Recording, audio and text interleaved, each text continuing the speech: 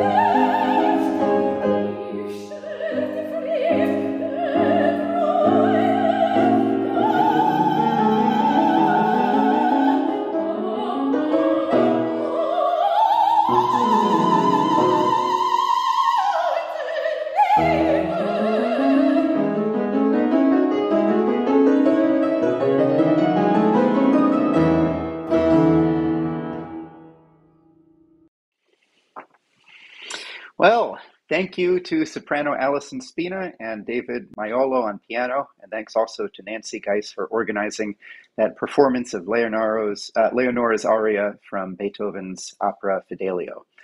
This is The Art of Optimism, using the classical principle to change the world, the fourth panel of this two-day Schiller Institute conference.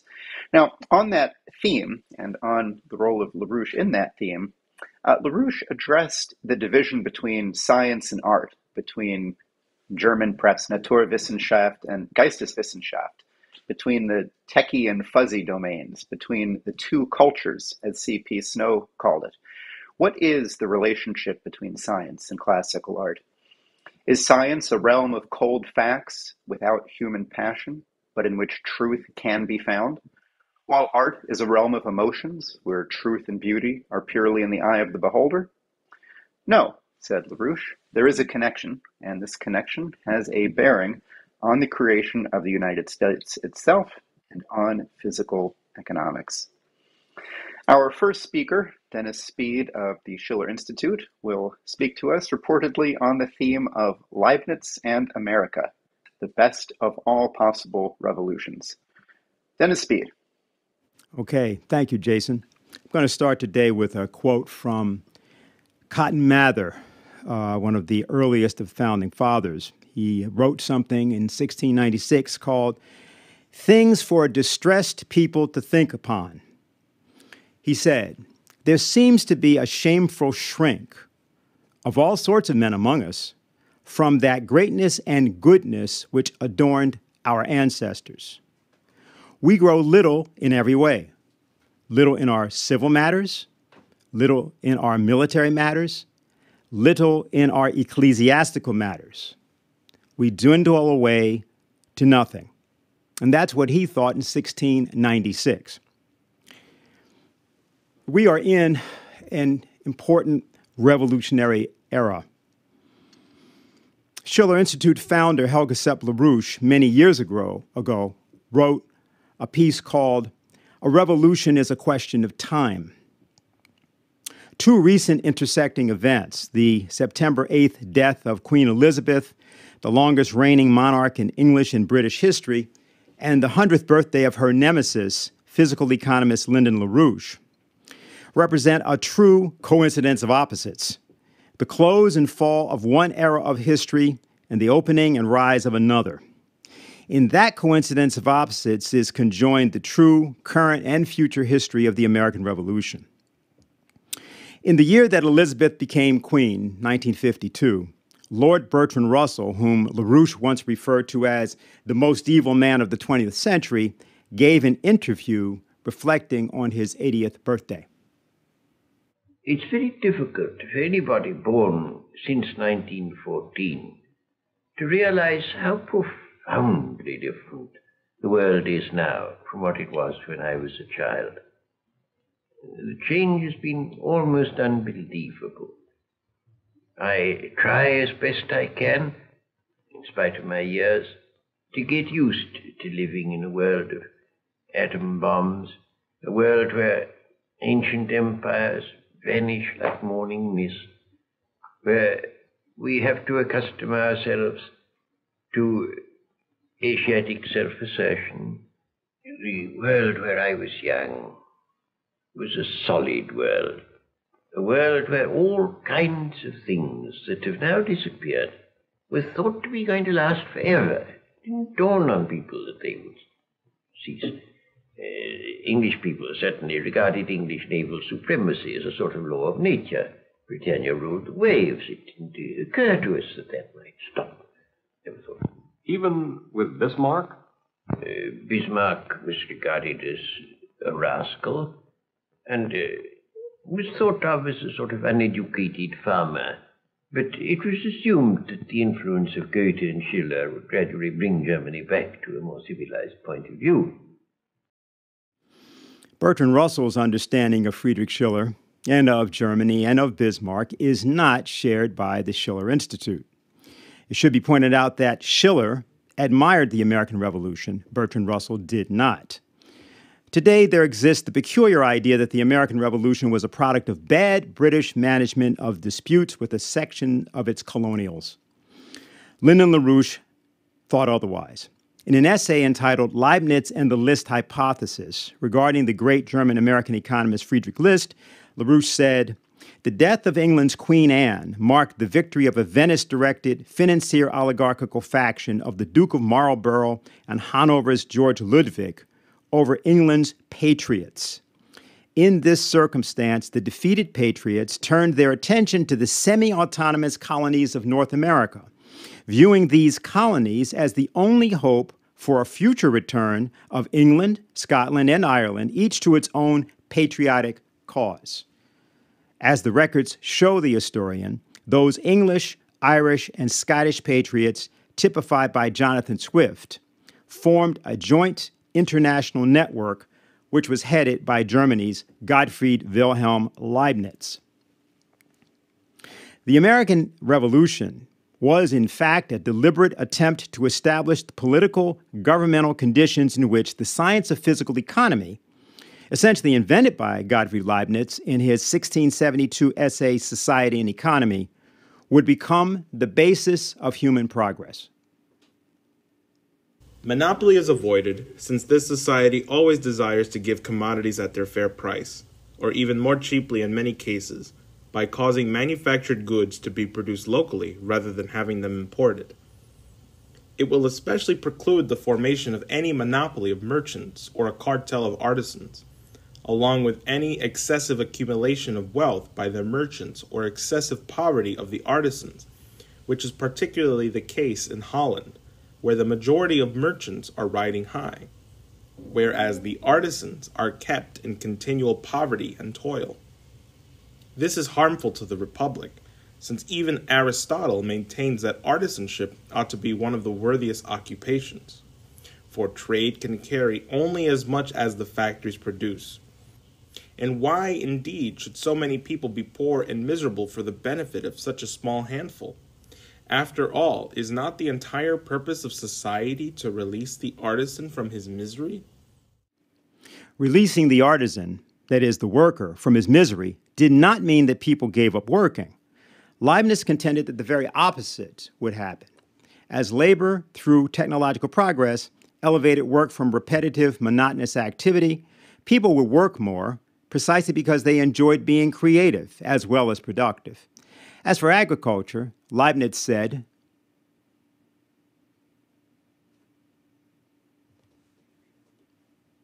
The farmer is not in need since he is sure of his bread, and the merchant has more than enough.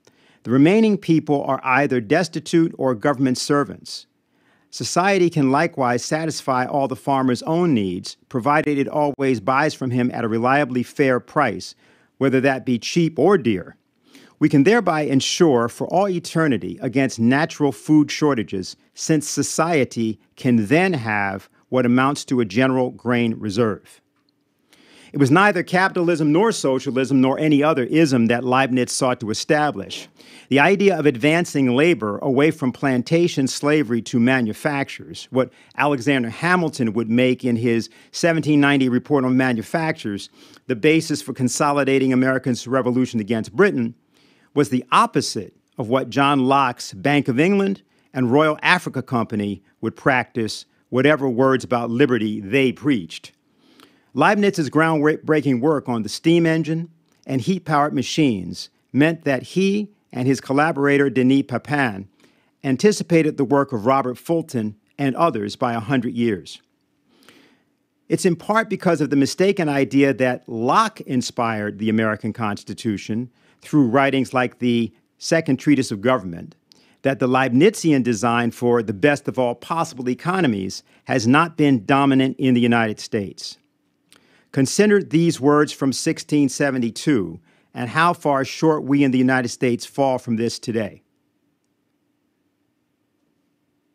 Through establishment of such a society, we eliminate a deep seated drawback within many republics, which consists in allowing each and all to sustain themselves as they please, allowing one individual to become rich at the expense of a hundred others, or allowing him to collapse dragging down with him the hundreds who have put themselves under his care. An individual may or may not ruin his own family and then may or may not run through his and his own and others' funds. Each country shall supply itself with those necessary commodities and manufactured goods which previously came from abroad so that it will not have to procure from others what it can have for itself. Each country shall be shown how properly to use its own domestic resources. In a country which has sufficient wool, manufacturing shall be established for the preparation of cloth. A country with an abundance of flax shall occupy its populace with the production of clothing, and so forth. And thus, no country among those which permit society the proper degree of freedom will be favored over the other. Rather, each shall be made to flourish in those areas in which God and nature have allowed it to excel. Although many know that John Locke's formulation of life, liberty, and property was rejected by Franklin, Adams, and even Thomas Jefferson in their writing of the Declaration of Independence in favor of life, liberty, and the pursuit of happiness, most no longer know why. The founders explicitly rejected the outlook that Adam Smith put forward in his theory of the moral sentiments and of his later Wealth of Nations precisely because they understood Locke's, Leibniz's opposition to John Locke, who believed that happiness was, quote, the utmost pleasure we are capable of. Leibniz thought differently. I do not know whether the greatest pleasure is possible. I believe rather that it can grow ad infinitum. I believe then that happiness is a lasting pleasure which cannot be so without there being a continual progress to new pleasures. Happiness is then, so to speak, a road through pleasures, and pleasure is merely a step in an advancement toward happiness, the shortest which can be made according to the present impressions, but not always the best. The right road may be missed in the desire to follow the shortest, as the stone which goes straight may encounter obstacles too soon which prevent it from advancing quite to the center of the earth. This shows us that it is the reason and the will which transport us toward happiness, but that feeling and desire merely lead us to pleasure. True happiness ought always to be the object of our desires, but there is ground for doubting whether it is. For often we hardly think of it, and I have remarked here more than once that the less desire is guided by reason, the more it tends to present pleasure and not to happiness, that is to say, to lasting pleasure. Leibniz was the greatest scientific thinker of his age. He was the inventor of the calculus in 1676 at the age of 30. His work on binary numbers anticipated the modern computer. We've already mentioned his collaboration on advancing the steam engine. But Leibniz was also a master organizer. He finally met with Russia's Peter the Great shortly before his death in 1716, that is Leibniz's death. But 19 years before that uh, meeting, Leibniz had expressed his great interest in working with Peter and Russia to discover whether there was a land bridge connecting the American continent to Asia. Author Christina Kunzel-Witt writes, the 52 year old German Protestant scientist was fascinated by the idea of a young czar traveling incognito through half of Europe. Leibniz tried hard to establish contact with Peter, but could only do so through Francois Lefort, the czar's influential old friend. A fixed point in Leibniz's ideas was the question of whether there was a land bridge between Asia and America. As early as 1697, he sent a detailed plan about his ideas to Lefort in order to have them presented to the Tsar. He wrote, To make the maps, we must send engineers, observe the high points, longitudes, and variations of the compass, and determine the coasts, especially in the Northeast, as much as we can, to learn if Asia is joined to America or if we can pass between them. In their meeting in 1716, Leibniz presented Peter with a plan for a system of educational institutions devoted to teaching the sciences to all people. But he also proposed how those institutions would help organize the state. Peter's Russian Academy of Sciences was founded in 1724. Leibniz's interest in and respect for China has been well documented. As he said, I consider it a singular plan of the fates that human civilization and refinement should today be concentrated, as it were, in the two extremes of our continent, in Europe and in China, which adorns the Orient as Europe does the opposite edge of the earth. Perhaps Supreme Providence has ordained such an arrangement so that as the most cultivated and distant peoples stretch out their arms to each other, those in between may gradually be brought to a better way of life.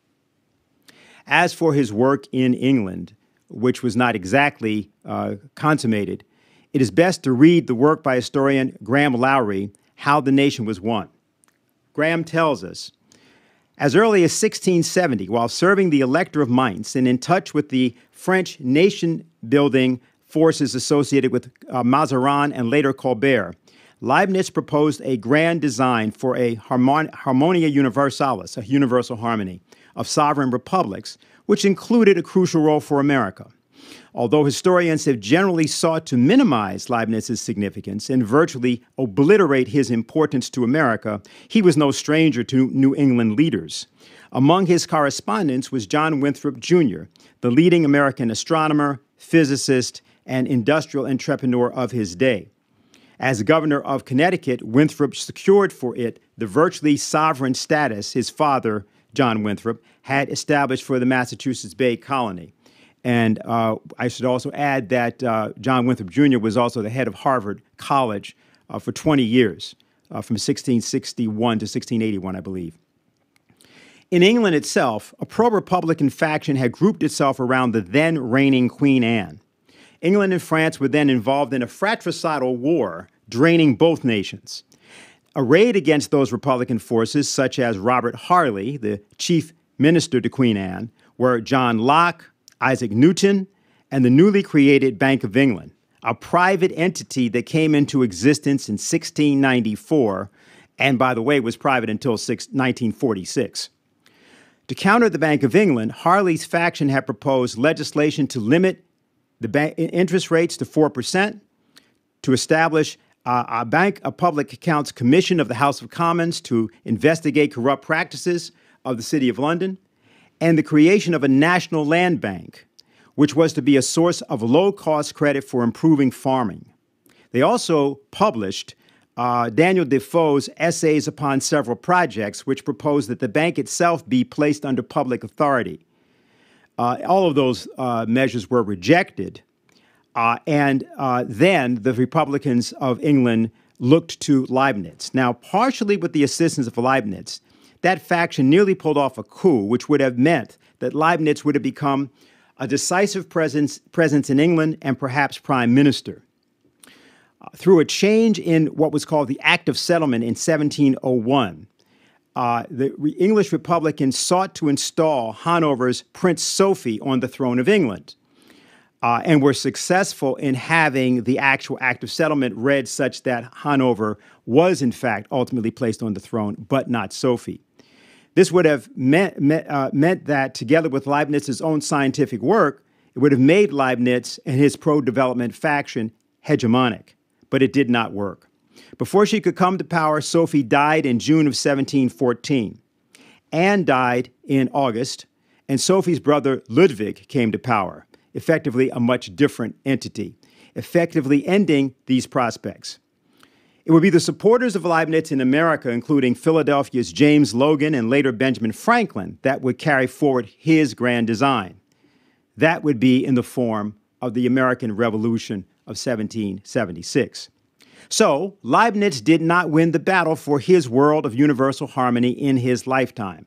So, why did Leibniz believe that this is the best of all possible worlds? An idea that is often satirized, as it was by Voltaire and later by Leonard Bernstein in his opera Candide.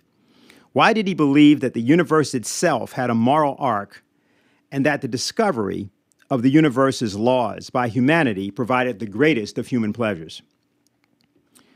In the last two months, as a result of the imaged transmissions received on Earth from the James Webb Telescope, our fundamental ideas about the origin, composition, and even destiny of the universe have been shaken, even including the sacred idea of the Big Bang. The image of the universe as a big pot stuck around and far above one's head, with stars and galaxies gleaming in one location or another, is shattered.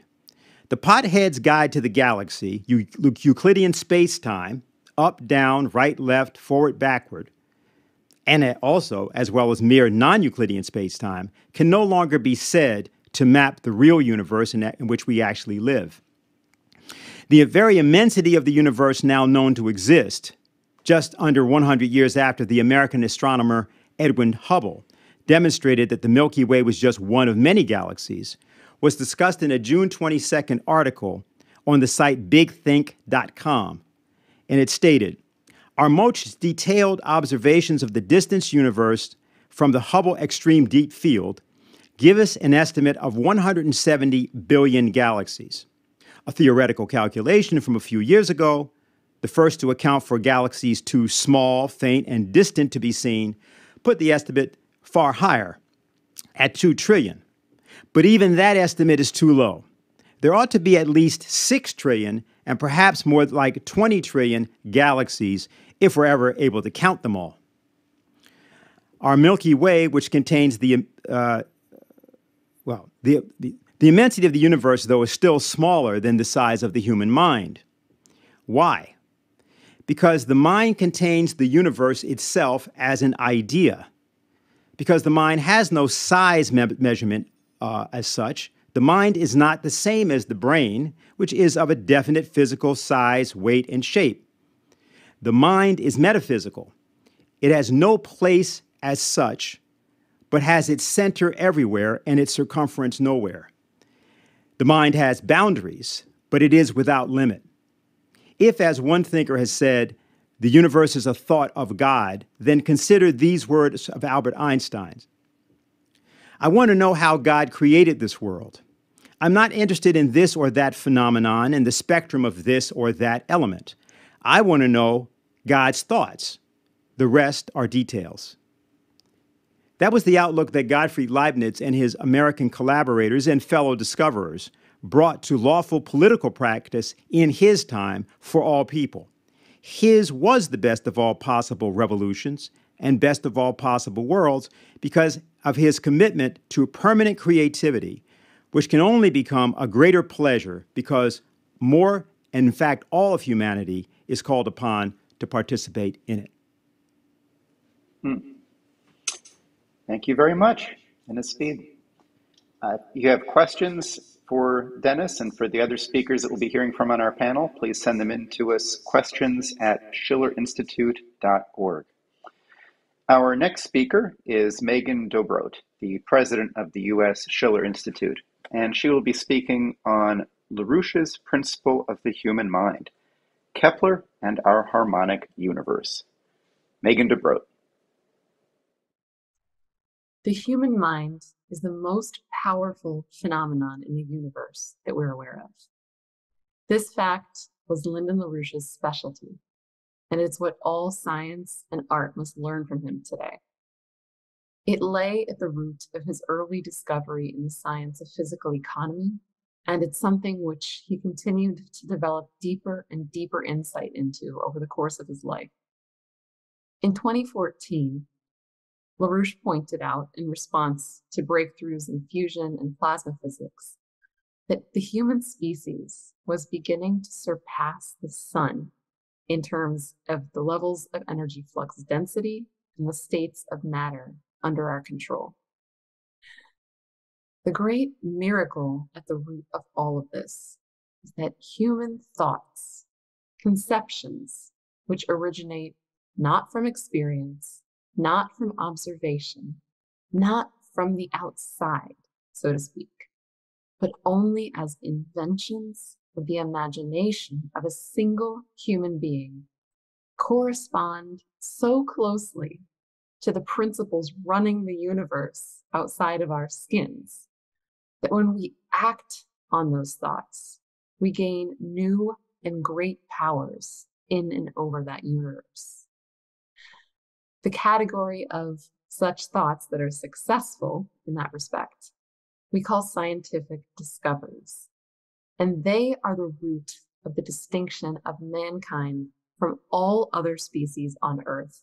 And they're the root of our progress away from an animal like existence toward one which is capable of leaving this planet and establishing life and cognitive life on other planetary bodies. This fact, this miracle, challenges what is often believed to be the boundary between the human mind and the universe, a false separation between man and nature. And it raises the issue of what role we as a species have been assigned to play, should we accept the mission, in the continuing self development of our universe. This brings before us as our proper subject the driver of all progress, human and otherwise, the creative imagination, which moves us out of the domain of logic, of mathematics, and other such things, and into the domain of art. Specifically, here today, what I want to address is the subject of harmony.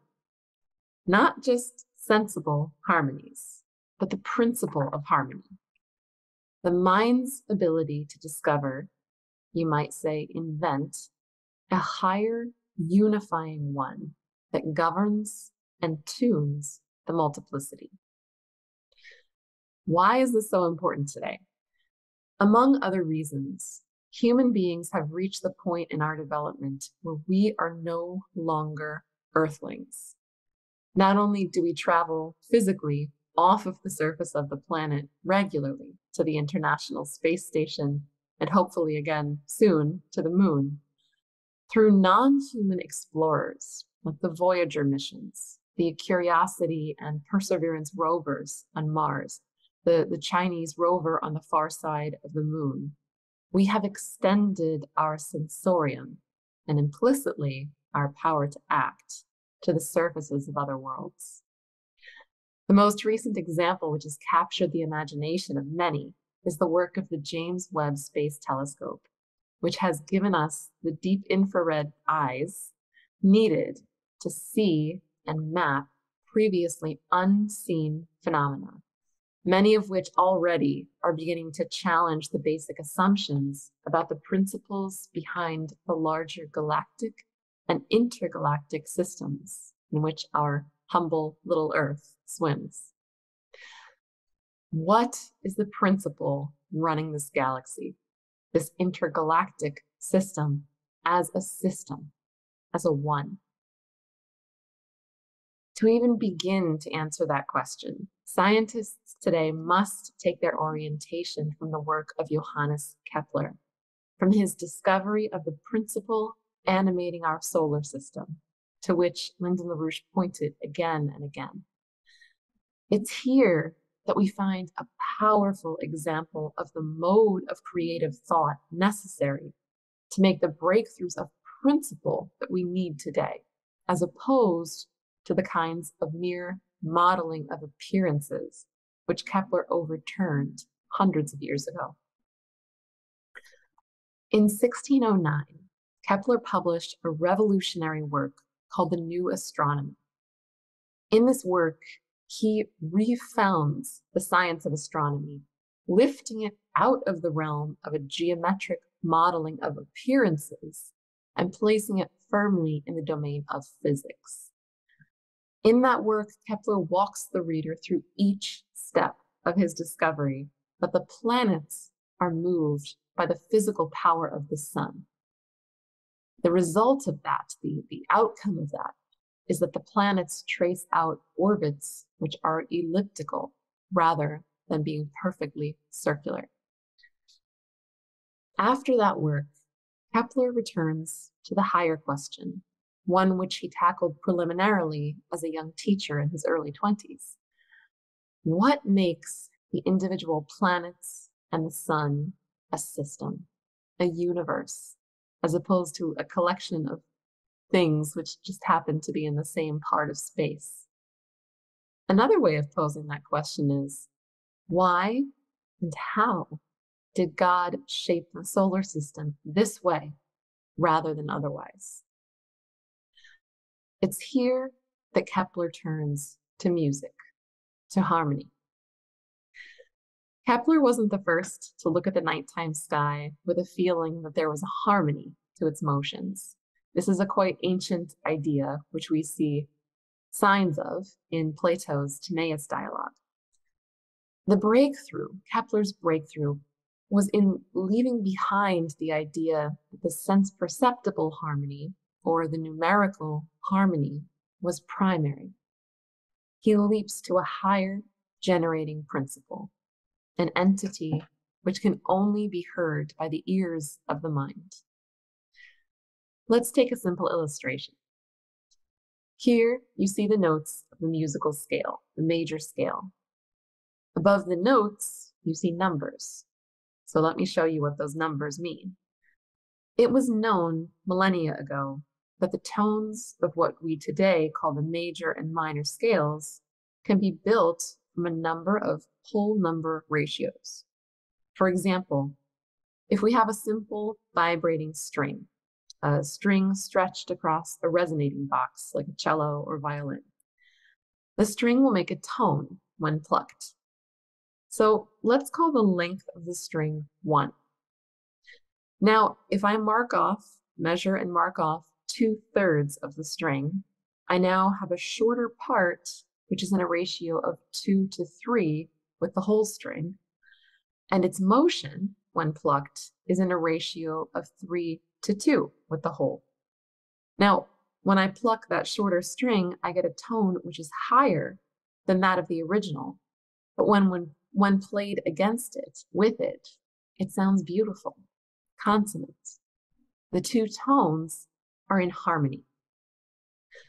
The same holds for the division of the string at three fourths, four fifths, five sixths, five eighths, and three fifths. You can hear that here.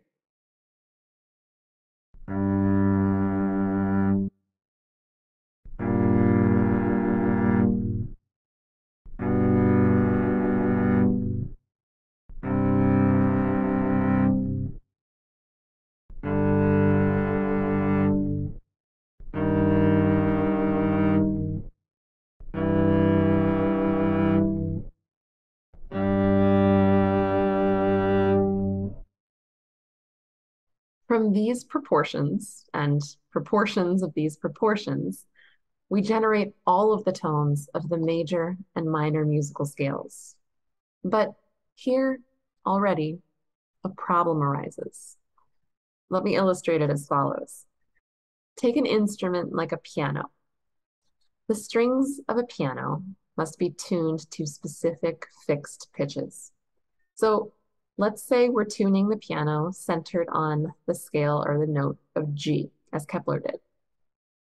A minor third in the scale up from G is the note B flat. That's a 5 6 ratio with the whole. A fifth up from that is a 2 thirds ratio and brings us to the note F. Great. So 2 thirds of 5 sixths is 5 ninths of the original string. So we tune our note F to 5 ninths. Now, say that I want the tuner to check his or her work. I know that the same note F is a fifth or two thirds ratio down from the note C above. That C is a 3 eighths ratio to the original G. However, 3 eighths, or rather two thirds down from three eighths is not five ninths, it's nine sixteenths. That's a small but audible difference. So which value for F is correct? Five ninths, nine sixteenths? Do we choose something halfway in between, thereby ruining or, or um, losing the perfect harmonic quality of the two-thirds ratio. The issue here is that this example is not an isolated case.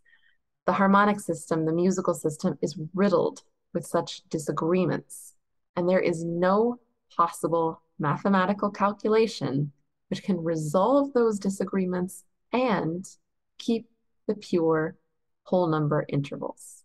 It's impossible. What that means practically is that depending on which note or which scale you choose to start your melody on, uh, you could get a real unpleasant out of tuneness. Now, this problem, an issue called musical tempering, is something which Kepler intensely studied. He was very interested in it.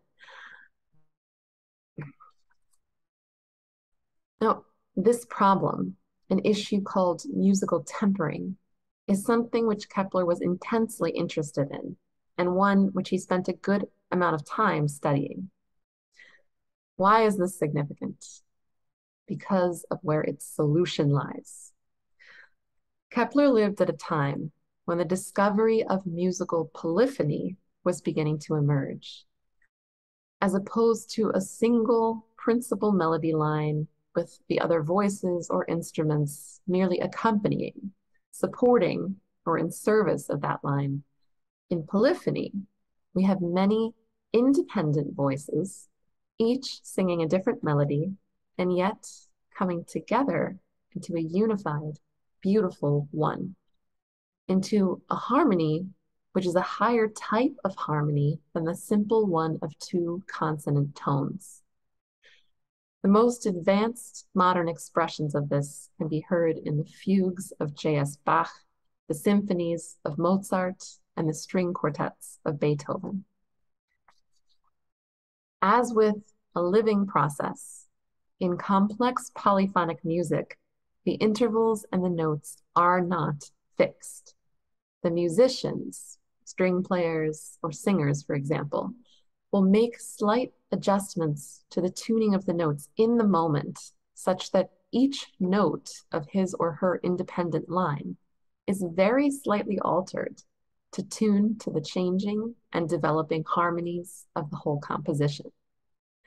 The individual intervals are no longer pure because their values are adjusted, tempered to the higher one.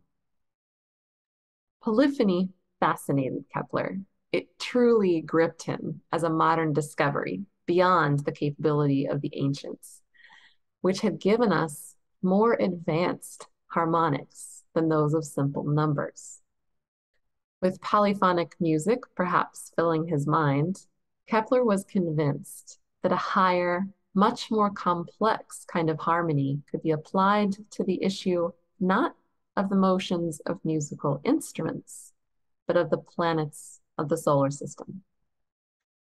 In considering why the planets of our solar system move in the particular orbits that they do, and at the specific distances at which they lie, and not otherwise, Kepler's work brought him to a point at which he could say, he knew, that to an observer standing on the sun, or, if you will, to the sun itself, looking out at the moving planets, the fastest and slowest motions of each planet, in other words, those that bound the orbit, have ratios to one another and to each other across planets that correspond to the notes of the major and minor musical scales.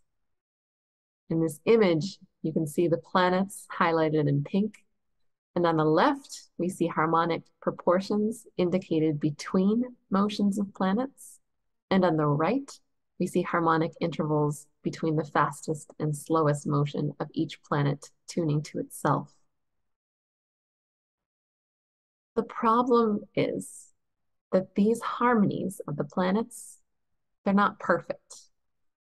There are small and sometimes not so small errors discrepancies between the perfect whole number ratios and the data from the planets. Now, a mathematician might say, and many mathematicians have said, see, Kepler was wrong. It was a nice, sweet idea, but it's not true. Now, what Kepler knew is that these discrepancies of the planetary harmonies from the whole number ratios were not errors but instead they were reflective of the tempered harmonies of a polyphonic system. Kepler put the data to one side.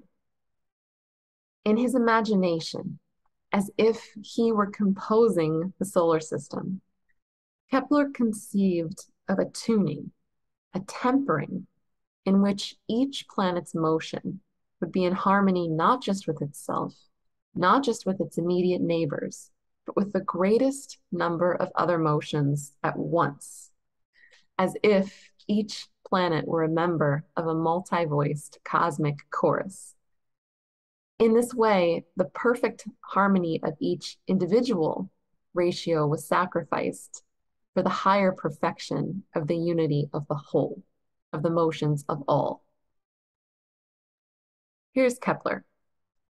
It is the universal harmony of all which chiefly makes the world perfect, rather than the individual twinnings of neighboring pairs.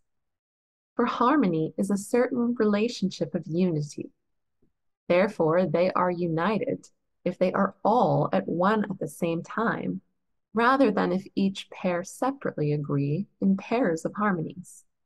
So that in a conflict between the two, one or other of pairs of harmonies of the pairs of planets must have yielded, so that the universal harmonies of all could stand.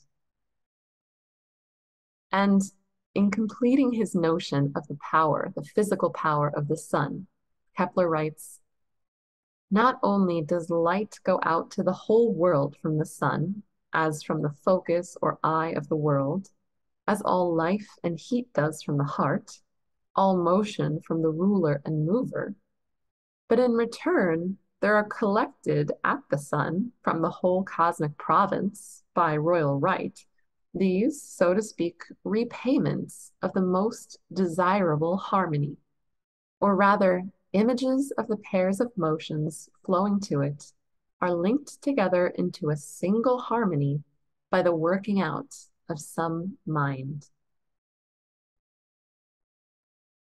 Just as a great conductor takes control, you might say, over the members of an orchestra, animating them, unifying their individual motions into a single harmonic entity. So does the sun guide and animate the motions of the planets into a higher one.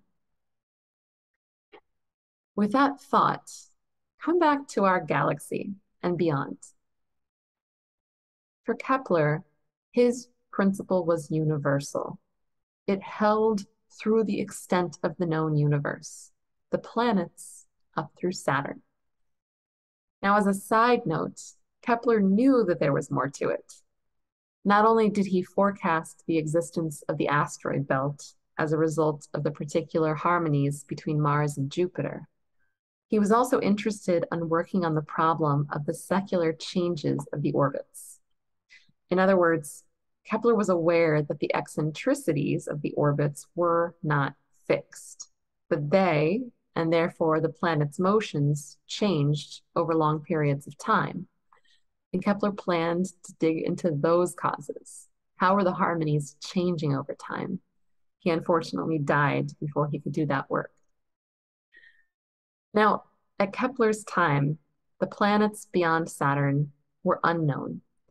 The asteroid and Kuiper belts were unknown. The fact that our star is one within a galaxy of billions of stars, each orbiting a galactic center, was unknown.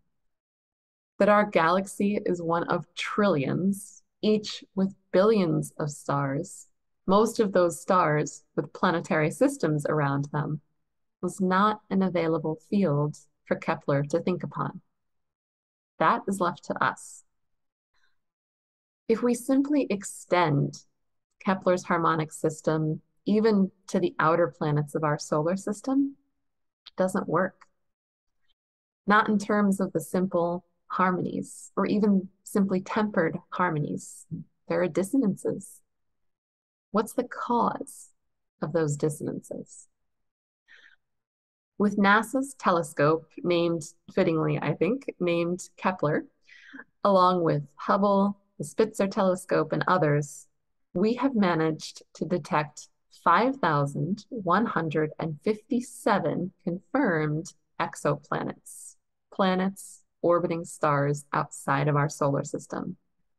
These 5,000 and some exoplanets are contained in 3,804 planetary systems. This is just scratching the surface and it's mind blowing.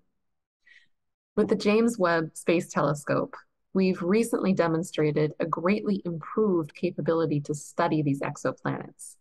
Webb recently imaged an exoplanet about 385 light years from Earth. And this image is a feat that's been compared to taking a picture of a firefly against the backdrop of a searchlight. So with Webb, we can not only detect the periodicity of the orbit, how often it circles its star, but also the temperature of its atmosphere. There's another interesting solar system which Webb will study over the course of the next year called the TRAPPIST-1 system, which is a relatively close star system about 40 light years away.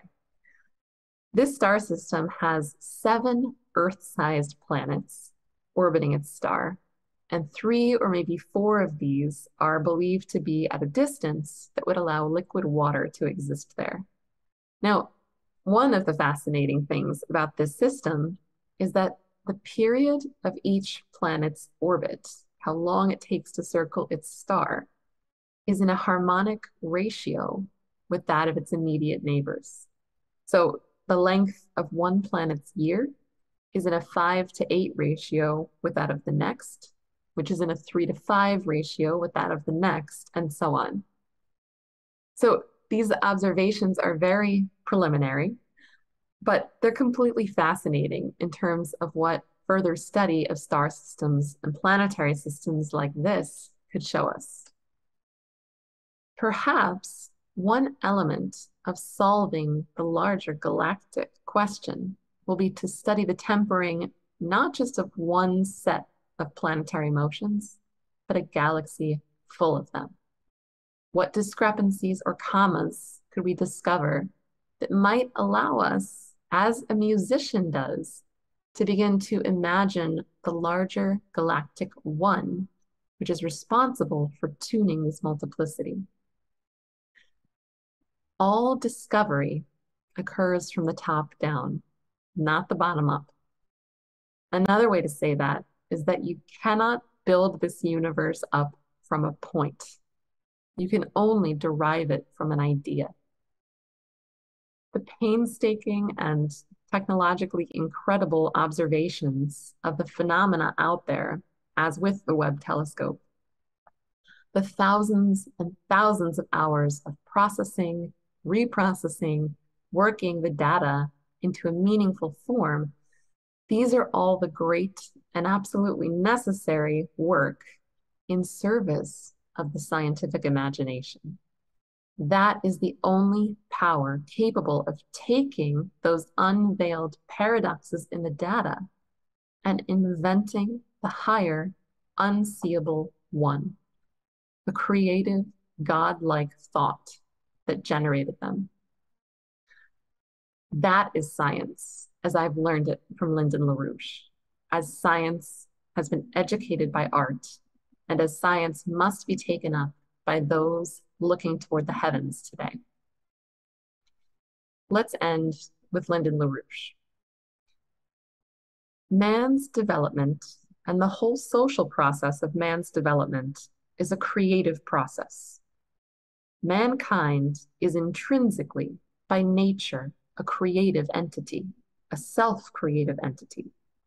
Now, man dies, but that doesn't end the process because actually, the existence of the human being is implicitly universal. The human individual is a universal thing which lives in history and only realizes itself when it's living in history. And history lies always in a higher power, which we call the future. It's the higher development of the higher process, the self development of the universe. And man is a participant by resonance with that progress in the universe. And therein lies the source of the power of mankind as a species.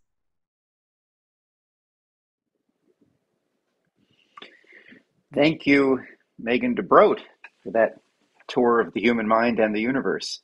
Again, questions. Send your questions into questions at schillerinstitute.org. We'll be hearing from two more speakers and then we will turn to your questions. Next, our third speaker is Jacques Cheminade. He is the president of the French political party Solidarité et Progrès, and he was three times candidate for the president of France. He speaks to us today on his topic Optimism to Recover from Our Mortal Illness. Jacques Cheminade. Optimism to recover from a mortal illness. Enthusiasm, love of beauty, sublime blossoming of great souls. These are two verses, two short verses of Lazare Carnot's Ode to Enthusiasm. Carnot was a key figure of the French Revolution, known as the organizer of the victory. He defeated the coalition of all European feudal regimes against the revolution. but he was more, more, much more than a general. It was he who inspired the École Polytechnique, which later became the model for the American West Point Academy. He was also the first scientist to coin the term physical economy. Beyond that, he wrote poems, such as this ode, to celebrate the creative powers of human beings, of human beings acting for the common good. I'm starting my speech with this. First, because enthusiasm is the highest expression of human optimism. Second, because his poems refer explicitly to Friedrich Schiller. And third, because Lyndon LaRouche always mentioned him as a homo universalis, an explorer of all fields of knowledge, exploring to ensure the advantage of the other. He reached the top of glory during his lifetime after fighting both the internal and external enemies of the revolution, the bloodthirsty barbarians at the French Convention, for example, and was finally thrown out of France and exiled to Magdeburg, Germany. Despite the lack of recognition from his own compatriots, he never complained and fought for his ideas until the last moments of his life, always enthusiastically optimistic, hoping always for the best to happen. His commitment is a secret behind relentlessly, relentless optimism, the sublime blossoming emerging in a great soul. The word enthusiasm comes from the ancient Greek entheo, which means the inner God potentially located in each of us. It demands from us to look at the universe in resonance with the best inside ourselves, to look at our capacity to create in resonance with the continuously created universe. It teaches us to be inner directed by our commitment to the highest causes and not other directed by the deadly rumors of public opinion. Look at John Sebastian Bach's Jesu meine Freude. It's pure enthusiastic optimism, joy, joy at the birth of Christ as a potential for the good and the beautiful. And Bach adds, May my joy endure, a commitment to keep that joy alive even among the worst pains and the worst dangers. It is hope, hope in the sense of true optimism. It is also one of the three theological virtues in Christianity, along with love and faith.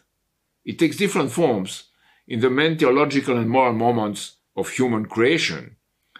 Pratidhi, or apex, in Hinduism, or in Confucius, words, education breeds confidence, confidence breeds hope, and hope breeds peace. Why is what I'm trying to convey, to convey to you, so key today? Because what you hear everywhere in our Western nations, in the midst, in the midst of this potentially deadly crisis for humanity, is nothing but different shades of pessimism. They are too powerful. You can't challenge them. I'm just a second fiddle. Can't you mobilize somebody else? What you are saying sounds good, but too good to become true. Etc., etc., and etc. Such pessimism is deadly. It leads to abstention or to impotent rage. This is the true tragedy of our times. When a mobilization is needed, to save our nations and humanity, to awaken our people, with a program for security and development for all nations. When opportunity to react is opening up now, because the crimes of the oligarchy are impacting our own and others' private lives, pessimism becomes then our worst enemy. And those who are conscious of the problem, conscious of the problem, as they themselves say, and do little or nothing, must be called either enemies or prostitutes. Why so? If you do nothing to save others, if you are not optimistic, you refuse to be human, you indulge the sleep of reason, which has already produced monsters. Look at Liz Truss, or better Powell's speech at Jackson Hole. Look at Volodymyr Zelensky and Joe Biden. Look at Emmanuel Macron, who is a life in death algorithm. Look at them.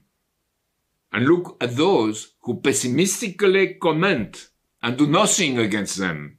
They become part of the crowd, clowns in a slaughterhouse.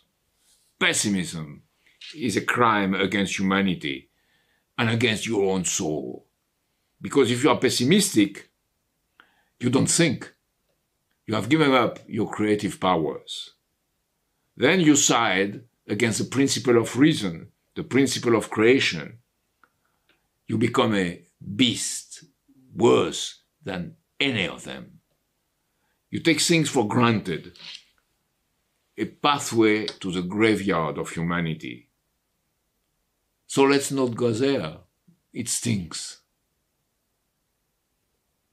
Let's instead give to our nation, to our society, and to humanity as a whole a share of immortality, as Lyndon LaRouche did, to be freely in resonance with the laws of the universe. Freedom is to discover new principles, which are the newborn babies of the mind, to inspire the sublime, to confront the worse and win. Sure, the cynics will say, but Gandhi, Martin Luther King, and John Kennedy were murdered. Julian Assange and Lyndon LaRouche were thrown in jail. Well, all of them, in their own way, have been human and reached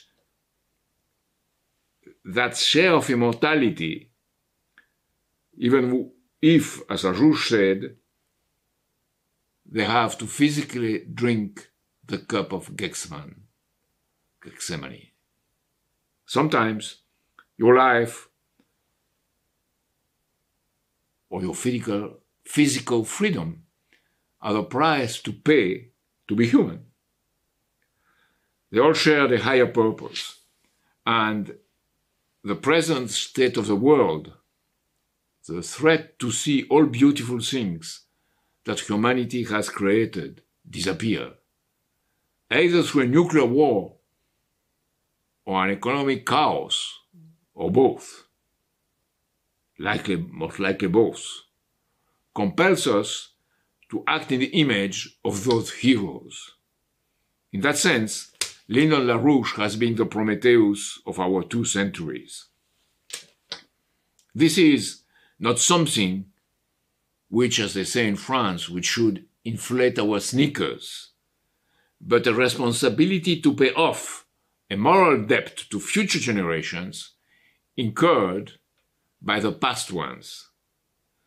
Our long history of courageous women and men and creative geniuses, this is what is at stake with being optimistic or pessimistic. The question is will we take sides with Zeus or with Prometheus?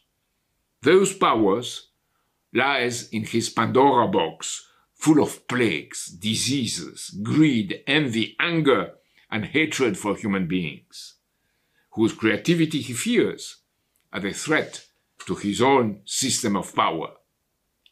His policy is to divide and conquer through an indefinite narrative of family feuds.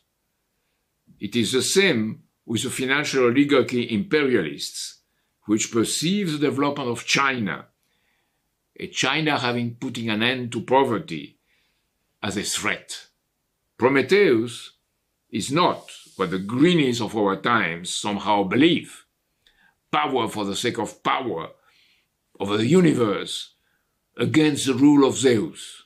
His power lies not in a show of force, but in the principle of creation of the potential of fire.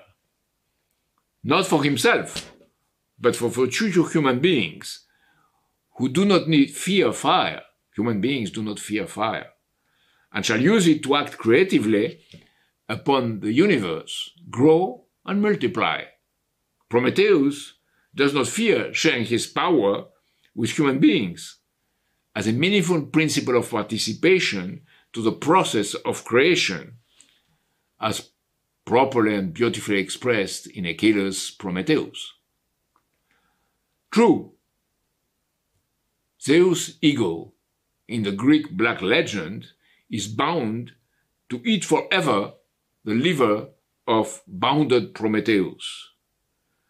But is it not our task to unbound his principle inside our minds and to act now accordingly? If we are pessimistic, we tend to be submerged by the virtual reality of screens and accept the euthanasia of imagination. We fall into the trap of the oligarchy images and money, images and money, perception, frustration, and addiction. Lyndon LaRouche denounced the sex drug counterculture, and now we are in the middle of it. The pessimistic escape from reality inflicted upon their children by the boomers and post boomers, mothers and fathers. Optimism is to escape from the prison of an, addict, of an addictive society, our mortal society, based on the greed for money and lust for images, which makes us believe, which make you believe that you are an individual, while in reality, both your mind and your savings are occupied territories. So let's stop thinking that man is a wolf for man. If not, we'll become ourselves wolves. Pessimism is intrinsically an evil sickness. Hope, optimism are the key to recovery, both for an individual and for society as a whole. And our society is mortally sick. From the standpoint of economics, the remedy is a new Bretton Woods benefiting all nations, LaRouche's new Bretton Woods. In that sense, the joint declaration of Jinping and Vladimir Putin on February 4 is the best approximation of a door open towards our common future. Compare it to the racist rejection of anything Russian or Chinese or belonging to the best of their cultures by the fringe of Western elites associated with the black suns of our times. The black suns of our times, whose morbid, nefarious light shines well beyond the borders of Ukraine. Of course, a world land bridge as a mental and physical metaphor for all humanity demands much more. It is what Scott Ritter and others demanded recently to act as one body to strike back politically at our enemies.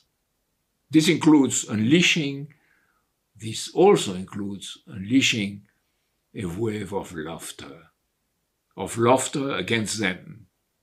Because laughter is not only a beautiful revenge against undue respect for them.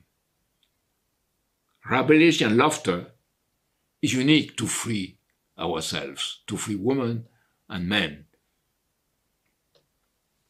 To change our way of thinking is therefore our immediate challenge in order to avoid any setbacks or suicidal mistakes and fulfill our mission. Let our joy remain and have fun. Thank you very much, uh, Jacques Cheminade. Uh, again, our period for questions will be coming soon after our, our final speaker. Send in your questions and reflections to us at questions at schillerinstitute.org. Our final speaker on this panel is Anastasia Battle, the editor of the Schiller Institute magazine, Leonore. Her talk is titled Beyond Ideology. Take it away, Anastasia. Hi, this is Anastasia Battle of Leonore Magazine. Uh, this is Schiller Institute's uh, cultural magazine. And I'd like to thank you for joining us on this really wonderful occasion to celebrate Lyndon LaRouche's 100th birthday. Uh, I have to say, it's really an honor to live in this time period when we have the potential for the greatest change in human history.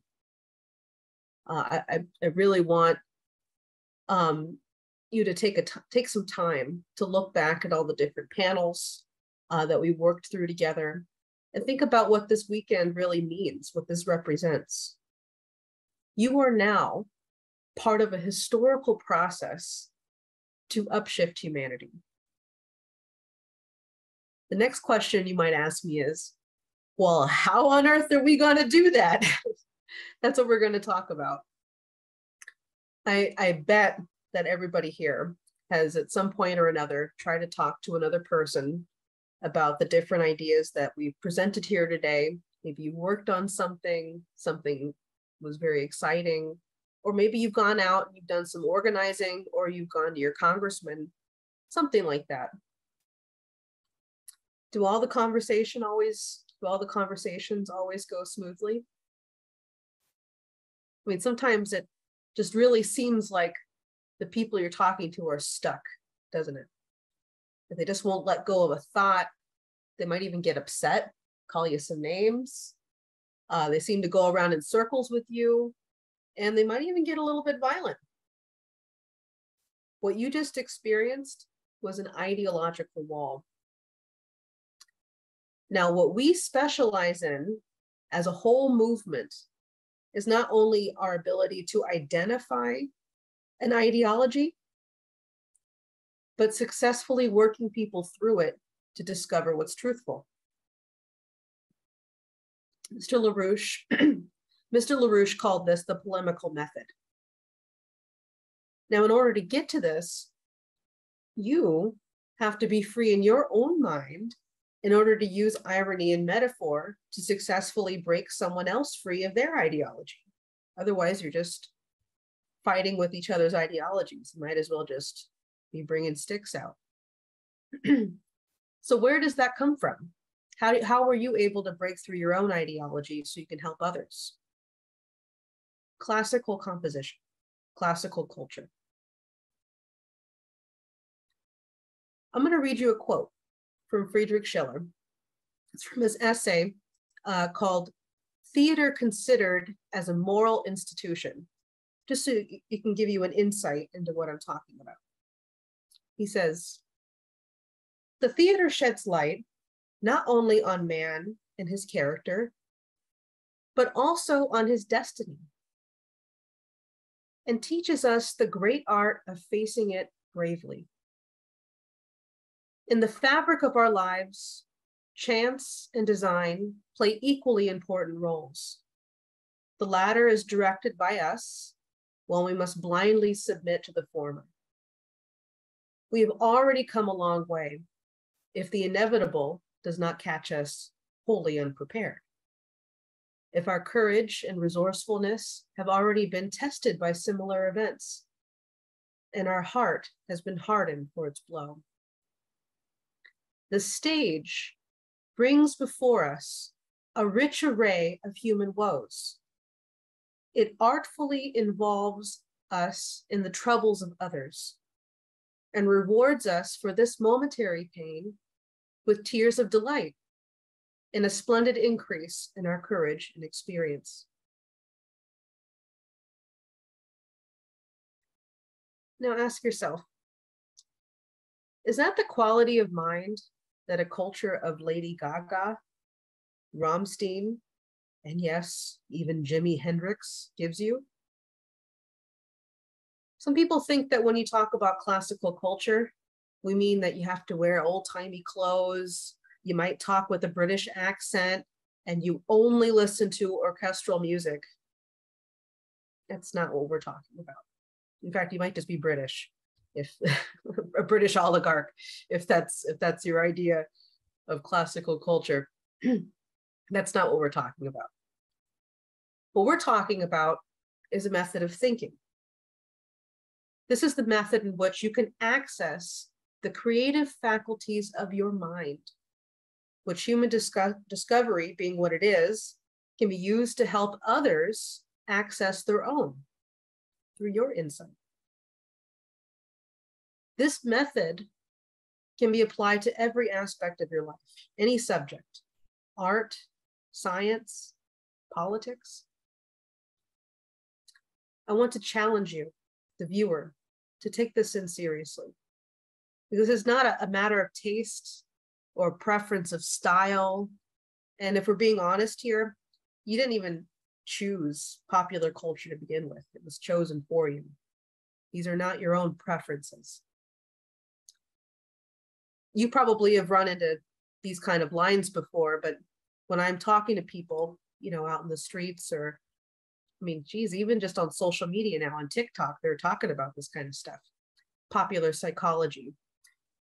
But people are perfect just the way they are. You shouldn't change them. I mean, honestly, can we look around the state of the world and say people are actually perfect just the way they are? I'm not bringing this up because I think we should run around and try to break people down and get someone to submit, just to give up everything and submit to a certain, you know, a new ideology or something. But if enough creative individuals come together like we're doing here today to create polemics, collaborate on classical composition in music, art, poetry, find a breakthrough historical outlook, discover a scientific principle, this will be the difference in us winning. We could inspire whole generations after us into a new renaissance. That's where we are right now in world history. That's what can happen.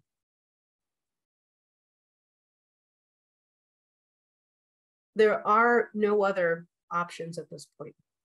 There aren't some secret uh, arsenal of trickery that our politicians can tap into and think that they can pull one over and, and try to save the system. It's just not going to keep going. It can't. This is what we have to do. I want you to join in this mission. It's a lot of fun. Uh, work with the Leonore, work with the Schiller Institute, please write. I want to encourage more people to write, get active, paint, read great works, write great works. Find that polemic in an ideology in your country, in your culture. I mean, this could mean the fundamental breakthrough, not just for you, but for your whole society around you to understand how they can make a new upshift. I'm going to put some contact information in the chat um, but please interact with us, get active with us, mobilize with us, and let's have a lot of fun being human while we do it. Thank you. Okay. Thank you to Anastasia, uh, our final speaker on the panel.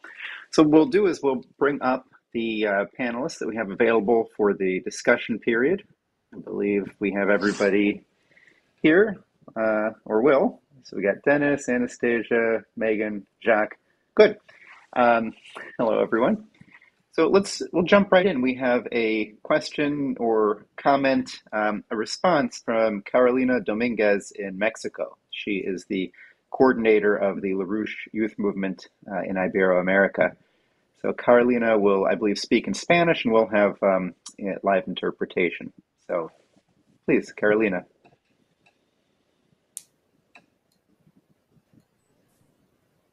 Hmm? Hola, buenas tardes.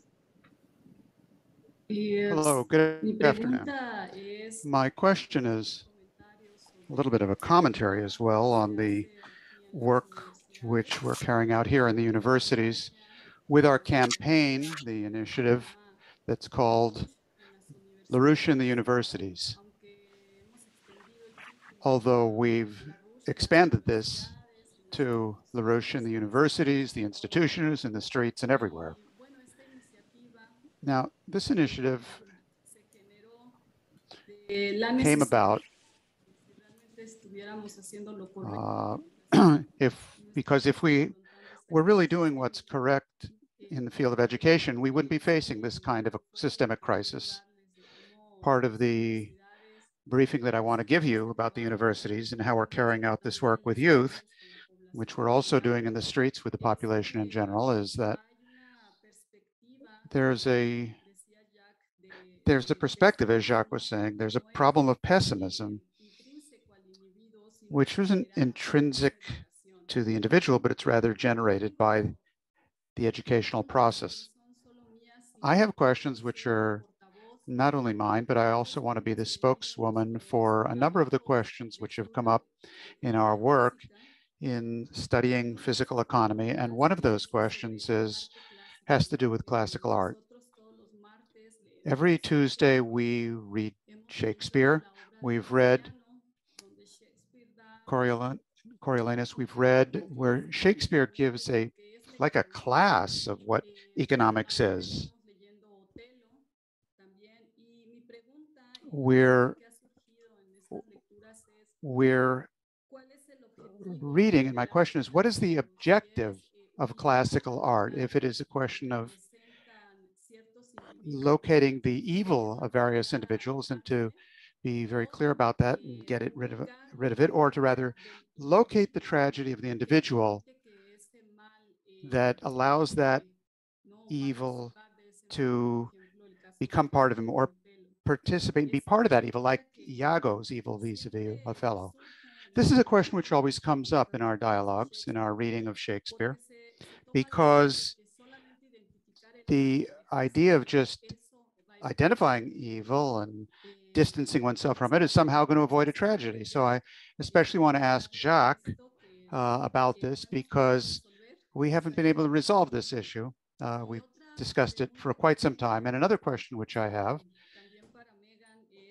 also for Megan is we're organizing in the universities in the streets for quite some time. And my, my view is that the Kepler work, the uh, work on reproducing those ideas, can save you a whole lot of useless discussion of people with sophistry and whether things are bad or they're good. And this allows the mind of the individual to access a process of kind of dropping dropping their defensives and say, okay, fine, I just don't know and then to be willing to learn what has been correct in economics. And my question on this is, how do we achieve, in the sense of Kepler, how do we get rid of this fear of not understanding or reaching any conclusion, perhaps as you uh, study Kepler, but not identify that proper paradox which is needed to solve a problem or are all paradoxes correct? So those are questions which I'm uh, transmitting to you from the work that we're carrying out in organizing on the streets. And I also want to ask a question and taking advantage of this uh, opportunity. I want to know about from Anastasia the impact that the magazine Leonore has had among youth. Are people reading it? Is there some interest in this? How have you brought this about? Is this is being taken out in the streets to the population in general? I'd like to know what the impact is and what your reading is on how people are responding to these kinds of documents that are important for educating individuals. And, and for Dennis, I have a question. Uh, since I've got this opportunity, I, uh, again, as a spokesman for others, on the question of Leibniz, we work we've done on Leibniz. We've had various uh, workshops on Leibniz. It's this is impressive. This is what's most inspired us to to carry out this work, uh, Leibniz, and also classes that we had with Dennis Small. And Leibniz was very clear that we had to have a new economy, a physical economy.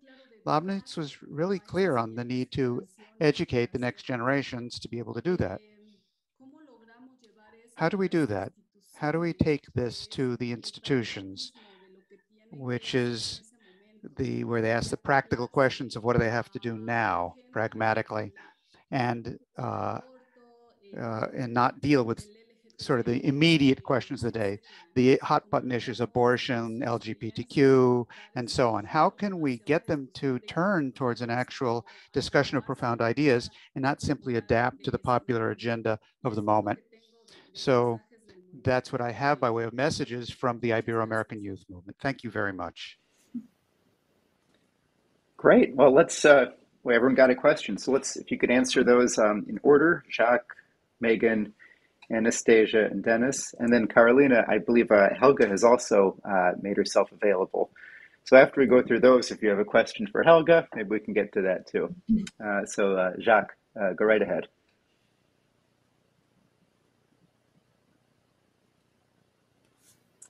Uh, I, I can't hear Jacques. Can, can others?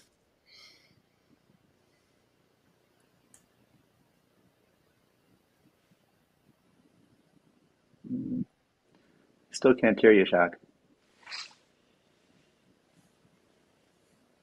okay, let's give it a few more seconds and maybe we'll come back. Okay. Now I can't hear anybody else either, so I'm not sure if this is Jacques or something broader. I, how about me? Can you hear me? I, I can hear you now. Jacques, try again. Okay, we'll come back to Jacques. Um, let's go ahead to, um, to, to Megan now. Okay, sure. I think Catalina, what you said about the work on Kepler saving saving a lot of time or cutting through the the sophistry that people are trained in in not just the universities, but really all of education leading up to the university. It's really true. Um, you know, LaRouche wrote tremendous amounts uh, and spoke a tremendous amount about education, what education actually is. That education is not the memorization of facts. It's not um, you know, posturing. For me, the the epitome of, of everything I hated about the current education is expressed in the debate team. And I'm sorry if I've offended anybody on the debate team, but it's you know, it doesn't matter if you're right. It just matters if you can convince people that you're right. Um, and it's a real tragedy. And as opposed to that, LaRouche always demanded the standard that education is the rediscovery of principle. You don't know something because you read it in a textbook or you were told by a reputable authority. You know something because you discovered or rediscovered for yourself that it was true. Um, so, in, in terms of Kepler, he Kepler is one of the most generous scientists that that I'm aware of in terms of writing out each step in his process of discovery. And that's why it's really wonderful for uh, a self education of a youth movement to be able to sit down and have Kepler himself walk you through every mistake he made, why he tried this, you know, tangent or this side path, um, which he thought might get him somewhere, except, oh no, it failed. And then he, it, but it made him think of this. So he walks you through everything. Um, the other thing I was thinking when you brought this up is I think one another reason that Kepler cuts through this kind of, you know, maybe kind of silly arguments that one might get into on the campuses, which aren't really getting at the substance of the thing, are because if you work with somebody on these ideas, if you can get them to, um, you know, be gripped with that question of, well, how do I know, or or do I know that the planets go around the sun. And it, it, rather than the sun going around the earth do i know that for myself? Um, do i know that the planets move in ellipses or was i just told that? If you can get somebody to do that and if you can actually sit down with them and work on kepler or build the platonic solids um, take that instrument that i share the picture of that little monochord um, vibrating string and help them generate the scale the musical scale it's fun. It, it's it's natural for the human mind to take joy in discovery. And I think that's another reason that doing that can help all of these other silly things that people thought they were supposed to think are so important. Um, they, they gladly throw them away for something which is much more fun, much more human, much more truthful.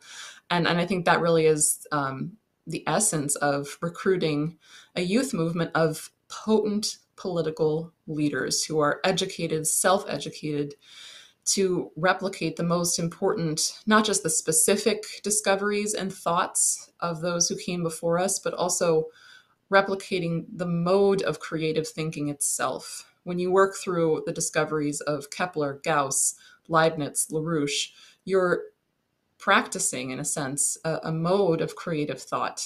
And that really is the most important and, and, and it's it's connected to the kind of joy in the soul that Jacques was referencing with the issue of optimism. That's what makes a good political leader. Um, I hope I answered your question. Oh, on the paradoxes, yeah, I think again, I think um, that's why Kepler is so great. That he Kepler really because he had an artistic mind, because he believed that the universe had to be beautiful and knowable. He had this underlying feeling for when he was pursuing something and ran into something which was merely just a shortcoming in the measurement versus an actual ontological paradox, which was the result of a new principle that he hadn't yet discovered. So I think um, Kepler can be really great for that. So that's what I would say. Thank you, Megan. Let's uh, let's go to Jacques now. Can you hear me now? Yes. Okay. So, sorry for that. I wanted to start uh, with Fidelio. Uh, the choice of uh, Leonore's aria to start, I think, was the best in the best of all possible worlds. Because uh, uh, Fidelio is celebrates the love of man and woman, uh, I must say, consubstantial with the love of humanity. And this harmony of love is won, is a victory of freedom, announcing at the end of the opera a political freedom not only for the historical moment where the opera takes place, but for the whole humanity and for the principle of harmony beyond this harmony of the opera. So Beethoven himself said that confronted to his life, he felt at the same time happily and happy and unhappy. Unhappy because uh, what's happening in his times was not good. But he was very happy because he knew that there is something in humanity that his uh, music would resonate with in the future and elevate the human mind of all. So I think about that at this moment of history in a 20th century, and I think this is very important for the students in, in general, not only in Mexico, but in the whole world, uh, where in the 20th century, there was mainly a step backward in politics and with a really criminal situation that we are reaching today. But there was at the same time advancements in science. I mean Einstein, but I also mean people that are less known, who are Alexander Friedmann in Russia, which father was a ballet dancer and the mother a pianist, which is a good combination for a uh, scientist. And then uh, Abbot uh, Georges Lemaitre in Germany. So both of them established that universe was in expansion. There was a big debate with Einstein. So there was this optimistic uh, conception of that there is a unity in the universe, and this unity is in the expansion of the human mind and the expansion of the universe itself, both between resonance. And I think when the young generation gets a sense of that beyond the games of images and the destruction of the minds through uh, the, combination of seduction, addiction, and then frustration, and then you go back to the same, to the same logics, uh, then if you create that in their minds through the music and through the science together, then they have an optimistic view of the universe and they were inquiring, searching for what's good. And I think if you, uh, like Lyn, if you always develop in the mind of the people that are around you this search for something better, that curiosity for what is coming uh, in a better world, uh, in the best of all possible worlds. Then you have, with the students, the capacity to change and to give a sense of the freedom, and this freedom is coherent and coherent intrinsically with the necessity to improve our universe. Hmm.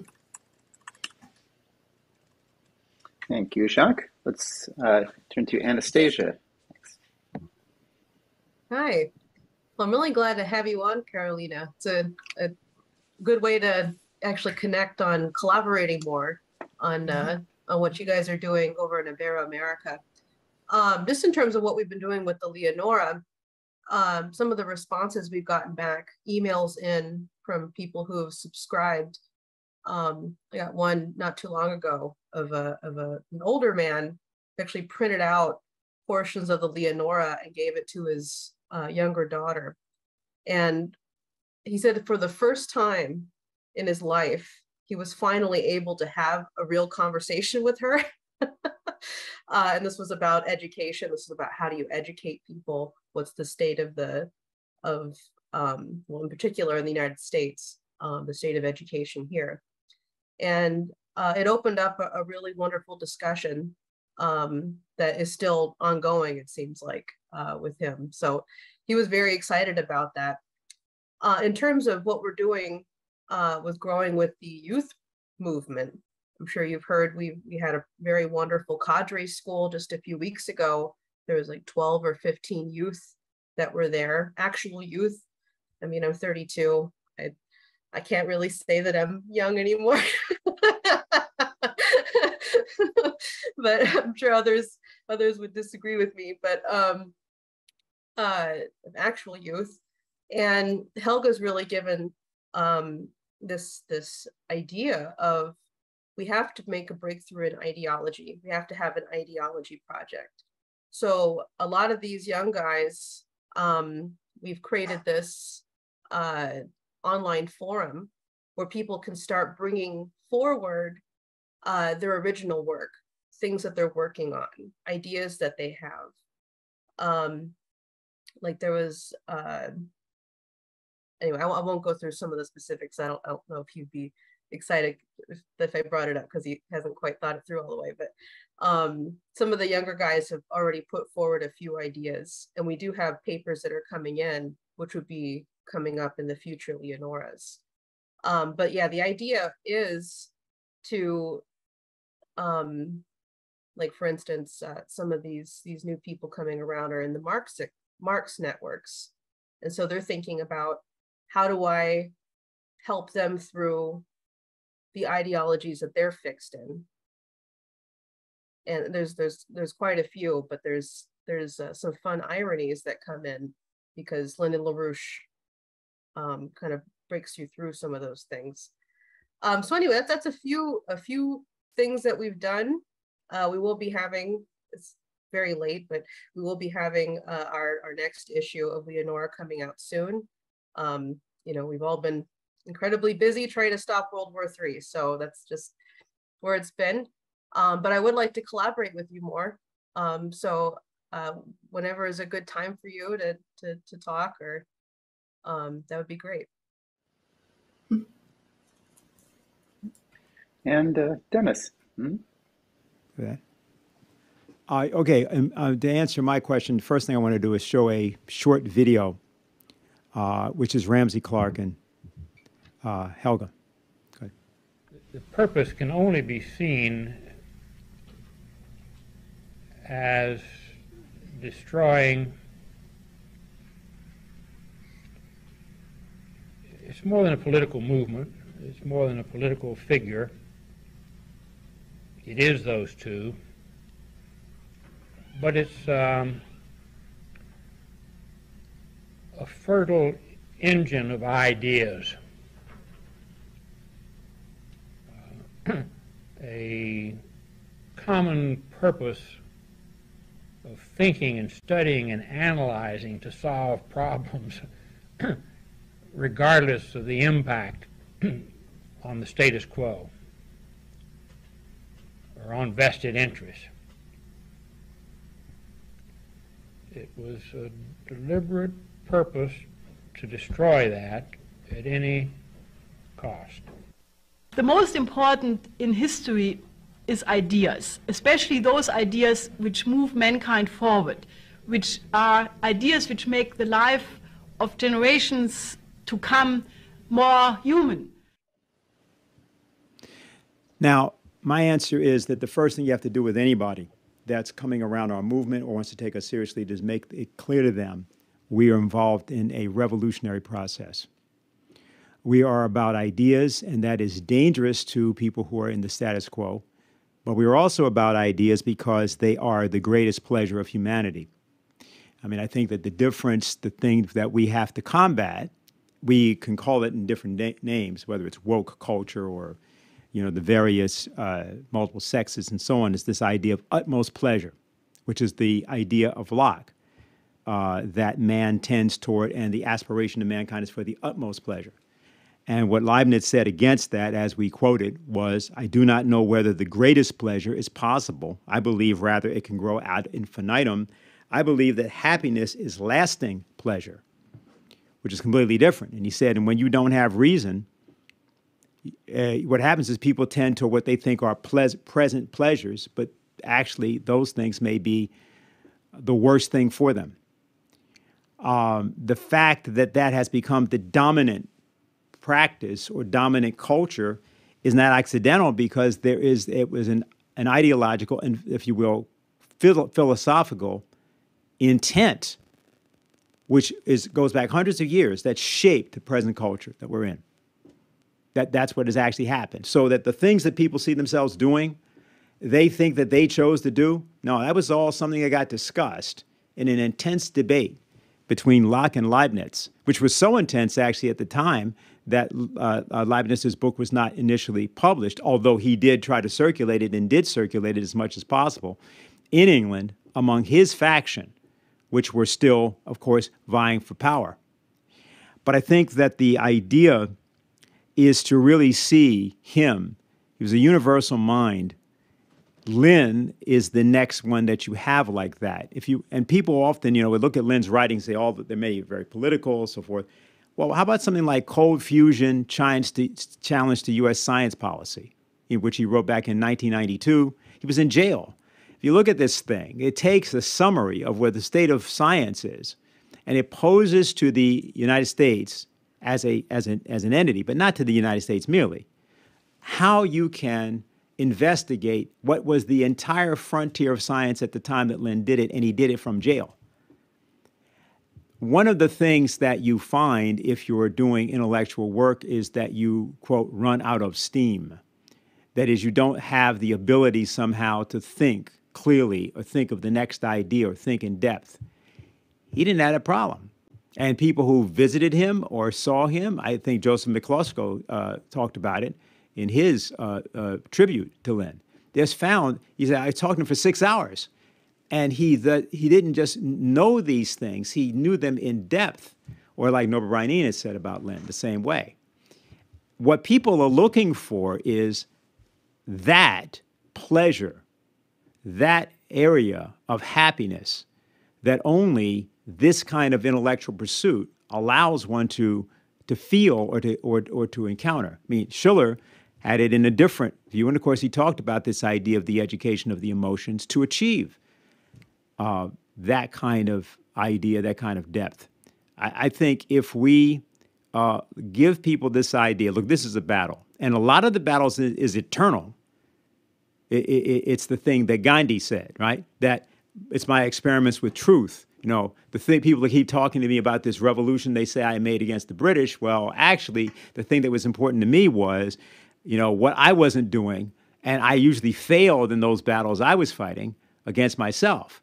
Now, these other things that you're referring to, yes, they're important, but they are secondary to my own experiments with truth. Not that the uh, Salt March and the other things weren't, but and I think that's the way um, that I would say it. And I would ask just if, if Helga, who uh, you know knows this uh, better than certainly than I, and I think all of us, if she has anything to say about the same area of discussion that you've brought up.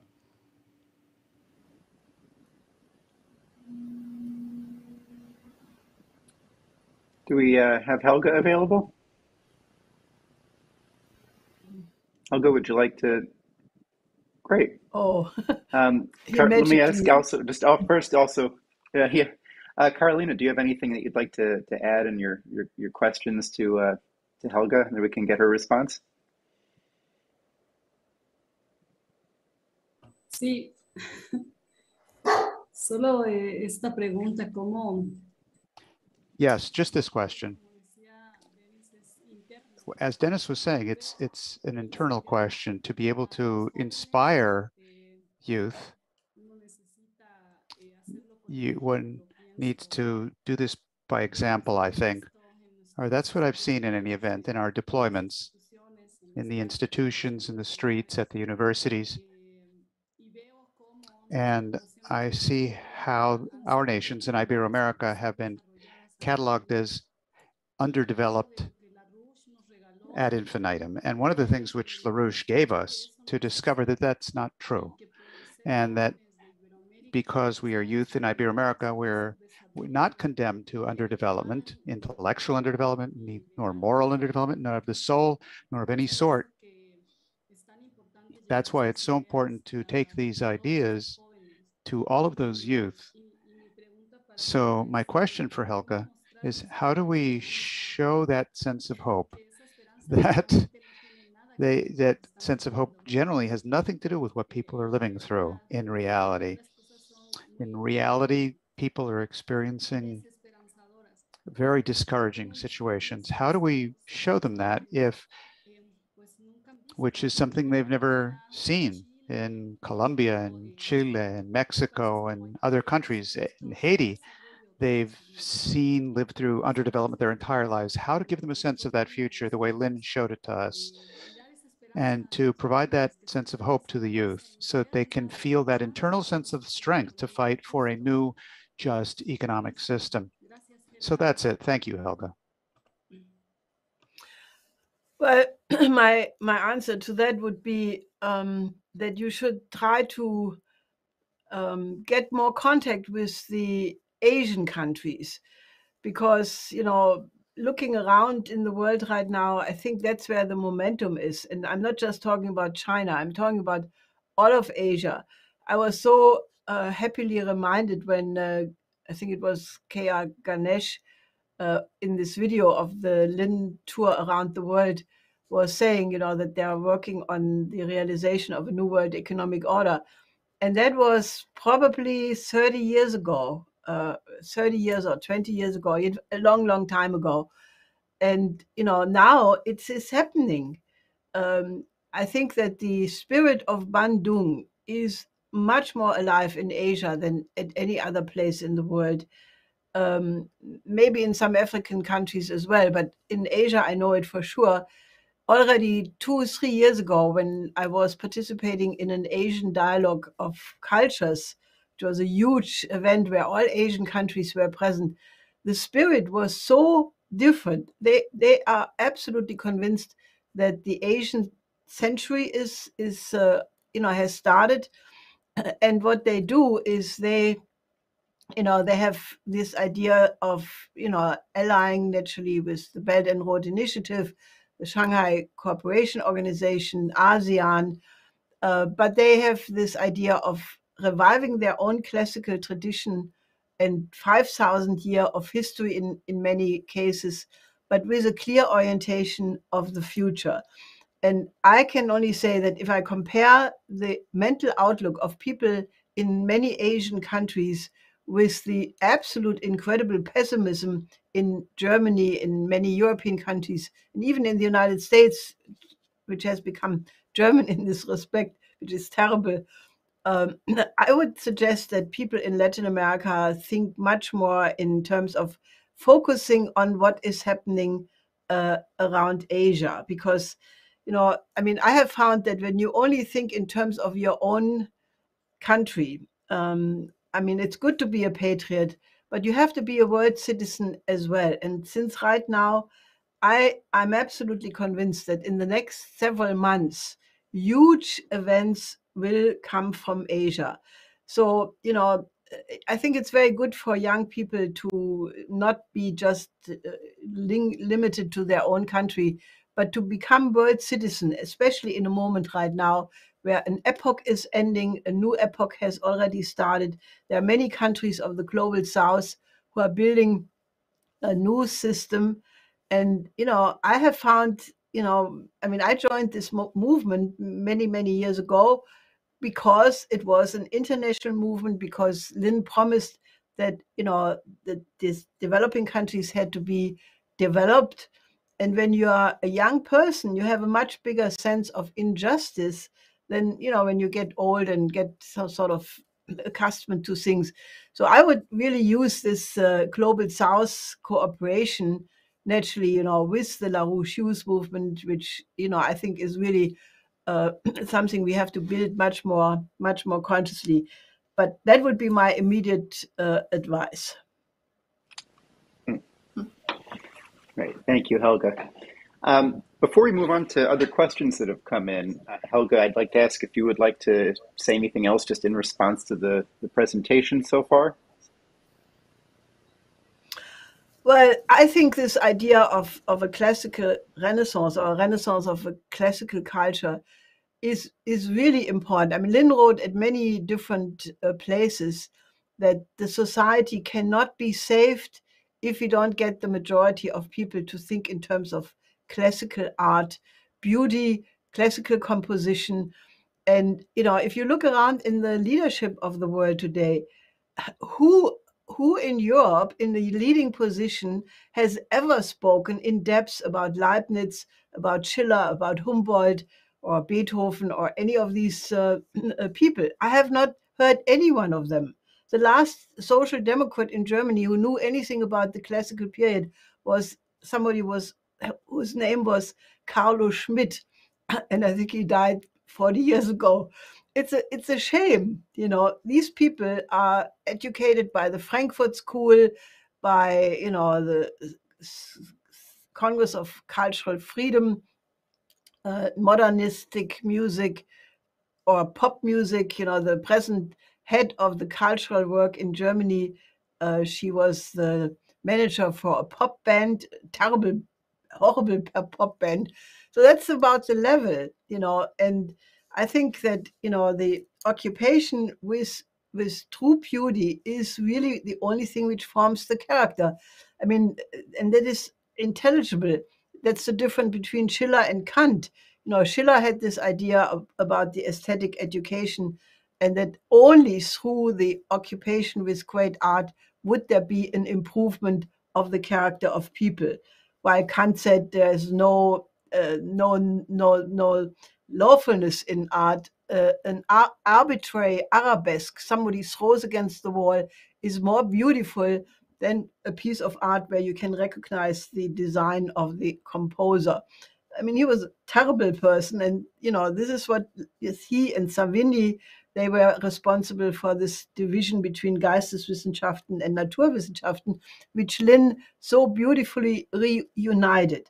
So I think that the to get young people to see the beauty, and what I have done in the past um, repeatedly was to just take two pieces of music, you know. I took, for example, Marian Anderson singing some very beautiful spiritual or some classical song, and play that or you know show that and then have some absolutely horrible uh, you know lady gaga or madonna or uh, what's this um, this uh, young lady who always uh, rides on this um, on this ball which rips down buildings.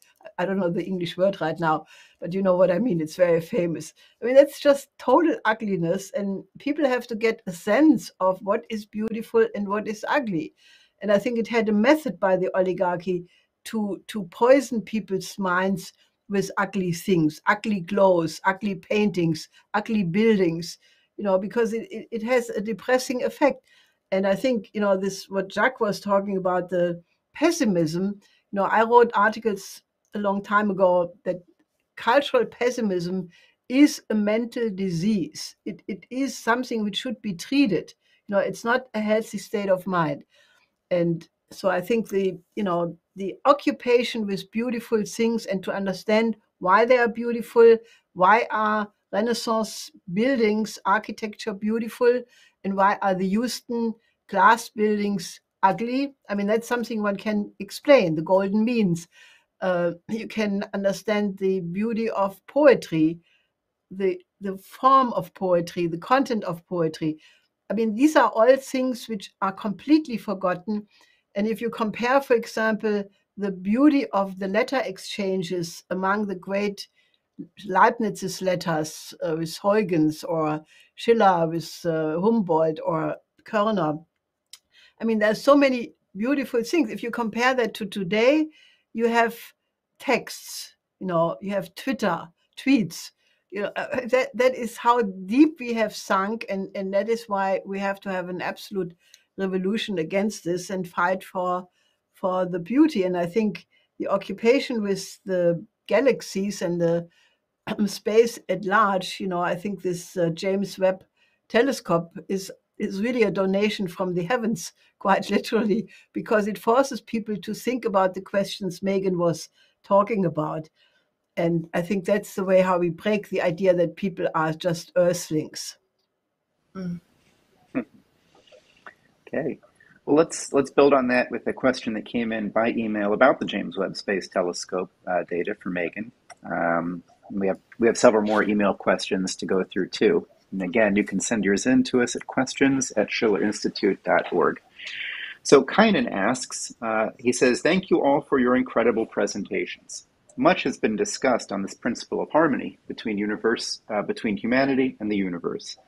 The James Webb Space Telescope has revealed many things about our universe and has unleashed a new set of principles of which we are obligated to discover.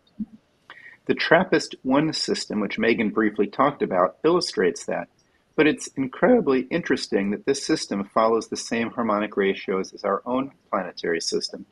So many parts of the universe, the many galaxies and various stars that we discovered, they seem to follow principles we already know, but there are small differences, as Megan pointed out.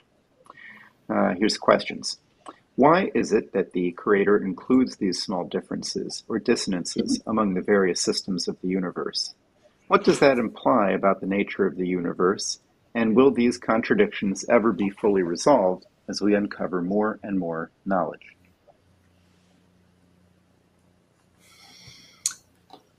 Well, I can start on that. Uh, take this question of dissonance. You look at, I was, I gave a presentation recently where I used this, so it's in my mind. You look at, de la disonancia, eh, empleé una.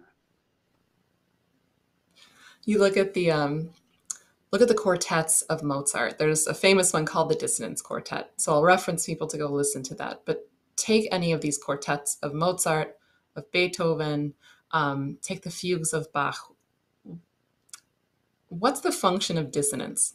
And, and you have two minds on this. You have the modernist school that Helga was just referencing that says that that uses dissonance for dissonance sake. It, uses dissonance as ugliness, purposeful ugliness. But in real classical composition, that's not how dissonance arises. It's not just a you know something thrown in to spice it up, or or even worse if you're talking about um, some other compositions dissonance arises as uh, a lawful consequence of the unfolding of the composition. You have these many independent voices, you know, each member of the string quartet with their own the, their own line is developing in a certain way. And that brings the voices temporarily into dissonance. And what that does to the mind is it it forces the mind of the listener to hypothesize the direction of development. Where is the composition going? It it's a, it's a way for the mind to be able to leap ahead to hypothesize the potential resolution of the paradox. And I think that dissonances, um, cracks, paradoxes in the data of you know of the, the universe at large, these kinds of things you're raising, I think that's the function of those.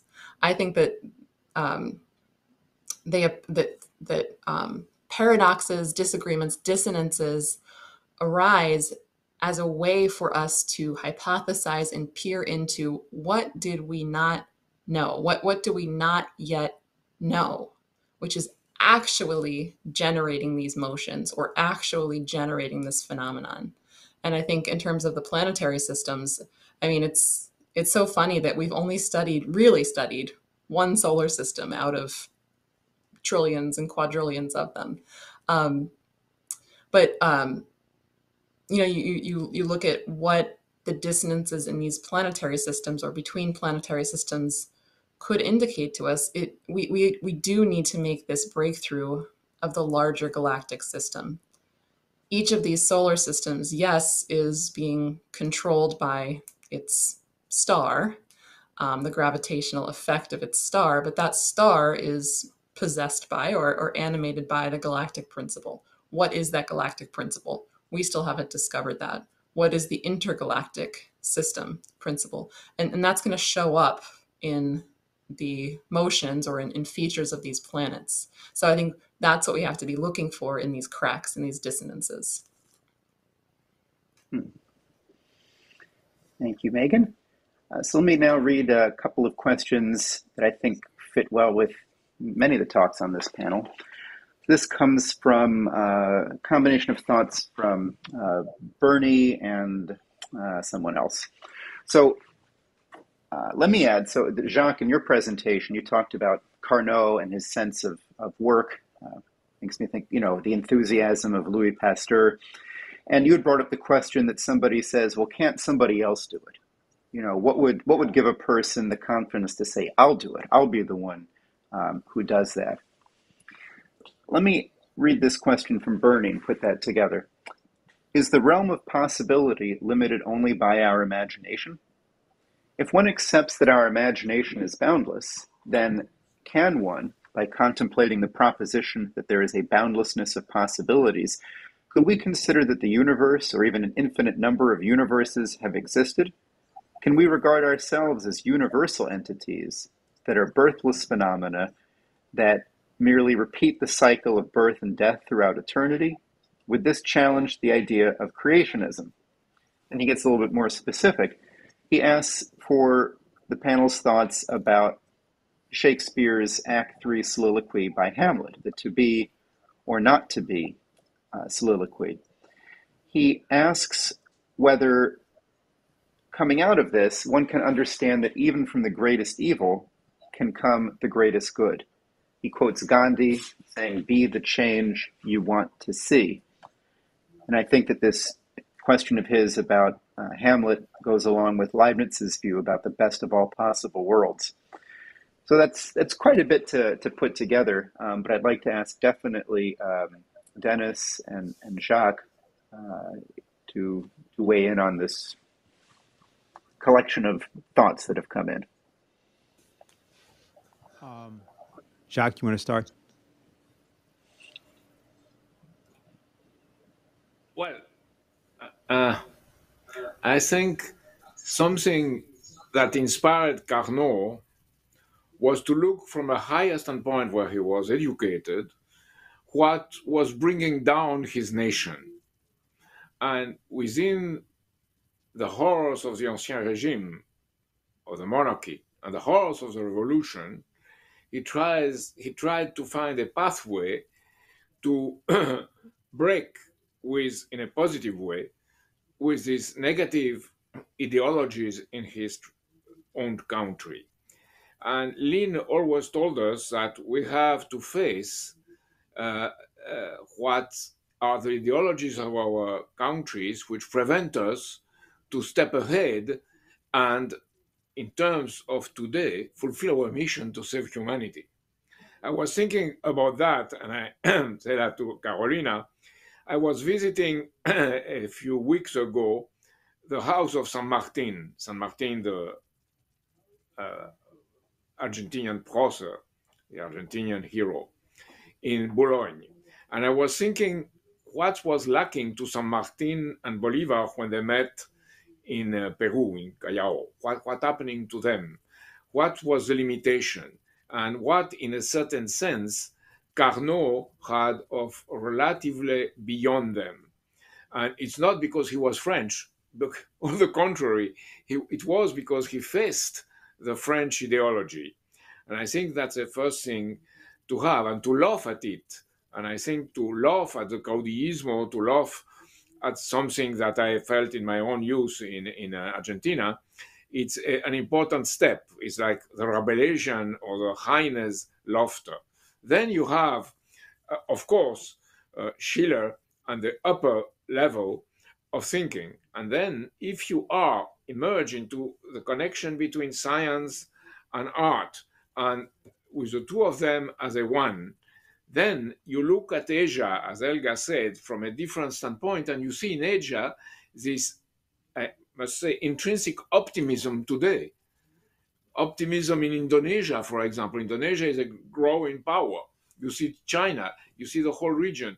And if you see that, and you see Iberoamerica, and you think that this is a, you have the same impulse, you can reach that impulse, and it's your fun to reach that impulse.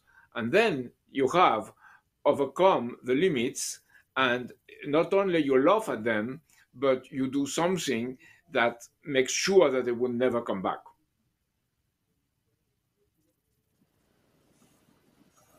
Uh, yeah, can I be heard? Good. Okay, good. Um, Yep. Let me just take up one thing. Uh, the largest galaxy that we know of is something called IC 1101. I'm going to put this up on the screen here.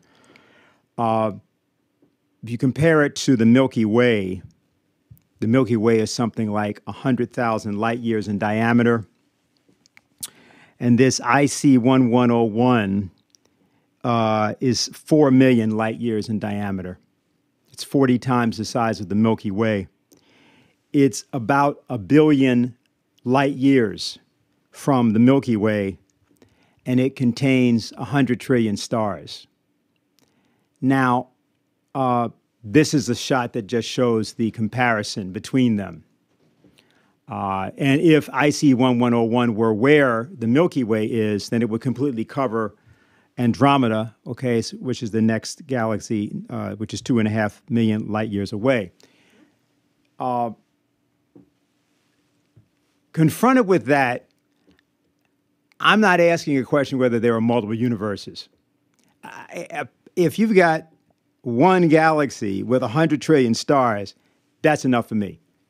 Uh, I, I don't think that that question, um, I- many people often ask this question, just tends to show the, the inability to face the vastness of what we're really talking about.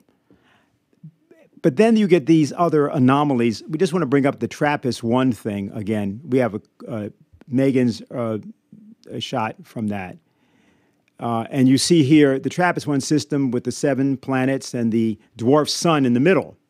As you see, it's a dwarf sun. It's much, much cooler than our sun and smaller. Uh, then you see comparatively the Mercury, Venus, Earth, Mars. Now go to the next one.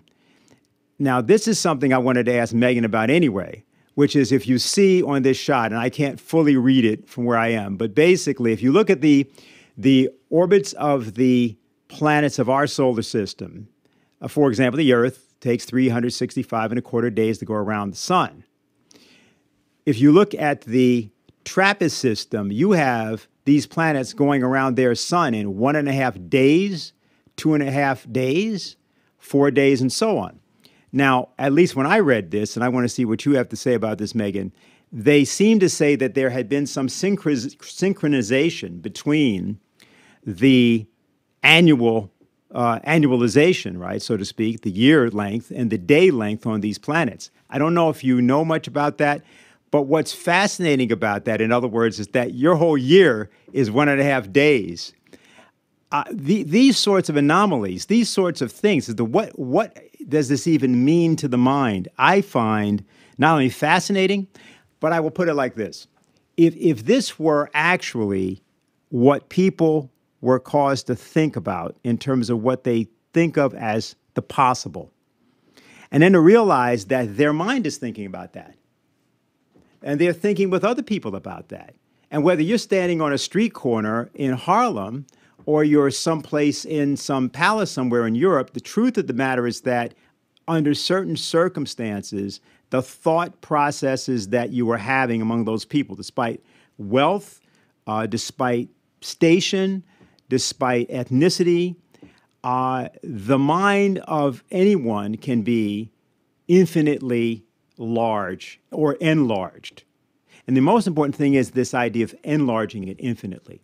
That's why you don't have any ultimate pleasure. That's the whole point of what Leibniz was saying. I think what happens is that people, uh, because of the fact that this is a completely, completely different idea of the universe than we think about. You know, there's a, a foolish man named Thomas Kuhn who wrote a book a long time ago called The Structure of Scientific Revolutions. But it's really the process of scientific re- revolutions that's, that's at, at issue. You know what that process is? It's people talking at the age of 13 and 14 about these topics rather than the kind of thing that passes for conversation all throughout our society now. I mean, if you're going to tweet, tweet about this, send these images around. And then what that does is it, it interrupts the banality of the general process. I, I think that's the thing that we want to make sure we are promoting. And I think it's it's really a lot of fun, by the way, to just encourage people to do that. And this is a good way also to think about the real significance of China and what's happening in the educational system of China and those people that are coming out of poverty, uh, or Russia and and the Russian Academy of Science of Sciences will celebrate its 300th anniversary in two years. We talked about how Leibniz had sat down with Peter the Great at the end of Leibniz's life uh, and had this conversation with him. He was dead a few months later about how you could reorganize your entire society using this idea of these universities. Eh, just beginning to think about this as being the core of the actual American Revolution, not the not the jingoist John Wayne, whatever you want to say that Americans talk about or have been caused to talk about. That wasn't the American Revolution. Lyndon LaRouche was the highest expression of this in, in contemporary time, especially in his grasp of the physical economy idea. And, and the way that he would convey this in all these different programs for all these different countries, right? Whether it's India or it's China, whatever. Uh, the, the infinite, the seeming infinite ability of Lyn to just call upon this inside of himself on behalf of other people is is that I think is is what our if we can in some way inspire people to think about this, just realize what was done in the last several decades to prevent them from knowing this, you will see a revolution unlike any we've ever seen in human history, I think. Not merely because it's Lyndon LaRouche, but because of the number of people who've been denied this and the number of people that are now aspiring all over the world to change that and change their circumstance.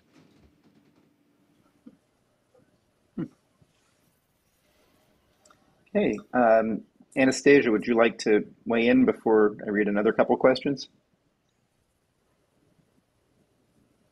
Well, I'm just kind of thinking about the first question that uh, Bernie had brought up about um, are we limited by our realm of possibility simply by our imagination? And, you know, I mean, people are funny because uh, you know, I, I talk to a lot of artists, and I also want to encourage many artists to reach out to me. I'd like to create a network of artists around the world so we can work on these kinds of things together. But it's not that you're, yes, you're limited by your imagination, but you're limited by the principles that bound the universe, which your imagination should also abide by. And uh, this comes up when you're talking about um, composition because like Helga was bringing up, you know, you got people just throwing things on a canvas and saying this is art. or screeching, you know, du and, you know, having satanic rituals and calling this art or whatever they're doing. Um, that doesn't, that's, that's not creativity. That's not what this is. When you're talking about um, making discoveries about principles, making discoveries about these things, and then expressing it, you're using your imagination to provoke the minds of other people. And um, that process is understandable by all human beings. And it's it's actually really uh, Einstein called it um, understanding God. That's how how he had described it. So anyway, I thought that was a fun a fun question, Bernie. All right. Well, let's read a couple more then. Um, this first comes from Chris, and then we'll hear one from Renee. Chris said, uh, Lyn spoke of the principled sameness, the relationship of the microcosm and its seeming opposite, the macrocosm. How can this be reconciled? And then let me also ask this question from Renee. She says, in thinking about the relationship of science and classical art, a centerpiece of that domain is the matter of bel canto singing. Lyn always emphasized how the harmonic relations reflected in Florentine bel canto were a universal characteristic discovered during the Renaissance, and which much later, incorporating the work of Kepler, paved the way for the revolutionary discoveries of Bach. And Bach also benefited as a genius from growing up where Leibniz had influence over the educational system. I take this one step further, she says. The COVID pandemic has had a devastating impact on the morale of the musical community globally which because of corruption over classical art was not in great shape anyway. The approach of looking at science and classical art may turn out to be the key to not only restoring choruses, orchestras, concerts, etc., but in bringing together the science of human medicine to be the kind of Renaissance study that it was for the Islamic Renaissance thinker Ibn Sina. We need a concept of this to salvage the great musical achievements of the morally wounded transatlantic world and the bridges to a human relation to the rest of the world. In other words, she asks, by including the biological sciences in this interaction of science and art, can we touch directly on what could and should be done on matters of defending the human species medically? So it's open to whoever would like to take on these thoughts from Chris and from Renee.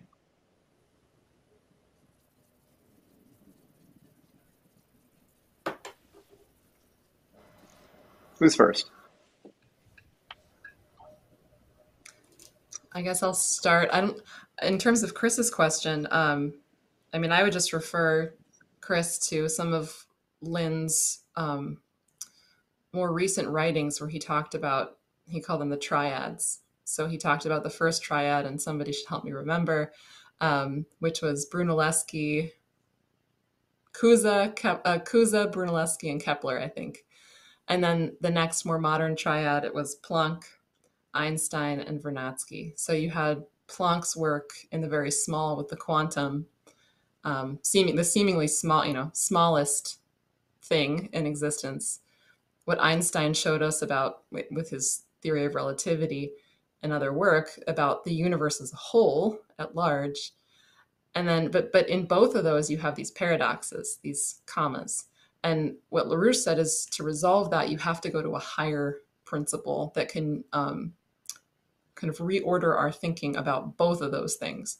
And he pointed to the work of vernadsky on life and cognition, that life and cognition are actually the principles which are shaping the development of the universe. They're, they're higher than non living abiotic physics. And so, if you want to resolve the paradoxes and contradictions which seem to exist between the very large and the very small, you have to go to that higher generating principle that you weren't including before. Well, let me Uh, just Jacques? add one thought. Oh, sorry. Yes, uh, there is a, a known saying by Blaise Pascal, the French philosopher and theologian the eternal silence of the infinite spaces scares me. So people quote that as something in itself. It's absolutely not. What Pascal says is a thinking of a libertine is a thinking of a cynical pessimist. As for myself, when I locate in my mind the capacity to resonate with this universe, I know that there is a creative principle and I feel happy about it. And the more I don't know on what it is, the more I can't reach it, the more I think that there has to be a composer and a composition to this universe. And it challenges me to know more and more. This was expressed in another way at the end of his life by uh, Nicholas, Nicholas Cusa.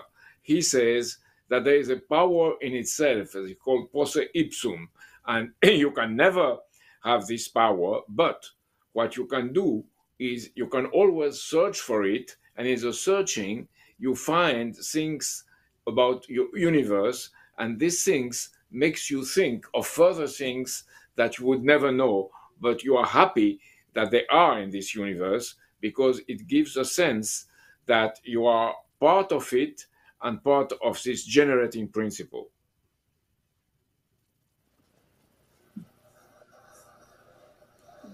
Helga, would you like to go ahead? Well, I just want to say that for Nicolaus of Cusa, um, the macrocosm and the microcosm was governed by the same lawfulness. And there is actually a very simple proof of that, um, and that is that the idea which is generated by the human mind, um, the human mind being the microcosm, uh, this idea is immaterial. It doesn't weigh anything. It has no extension. But if it's an efficient idea and leads to a change in the physical laws of the universe, it changes the physical law of the universe. And obviously, it can only do that if there is a corresponding in the lawfulness. I think this is a very simple but profound thought. and in a certain sense, Leibniz had the same conception with the monad, the monad being a reflection of the entire lawfulness of the universe. So I think that that is, um, you know, the idea that both are developing in an unlimited negentropic way, that there is no limit to the self perfection of the human mind. And by the same idea, the universe is uh, developing in an anti entropic, infinite way. Um, so that's a very fascinating thought.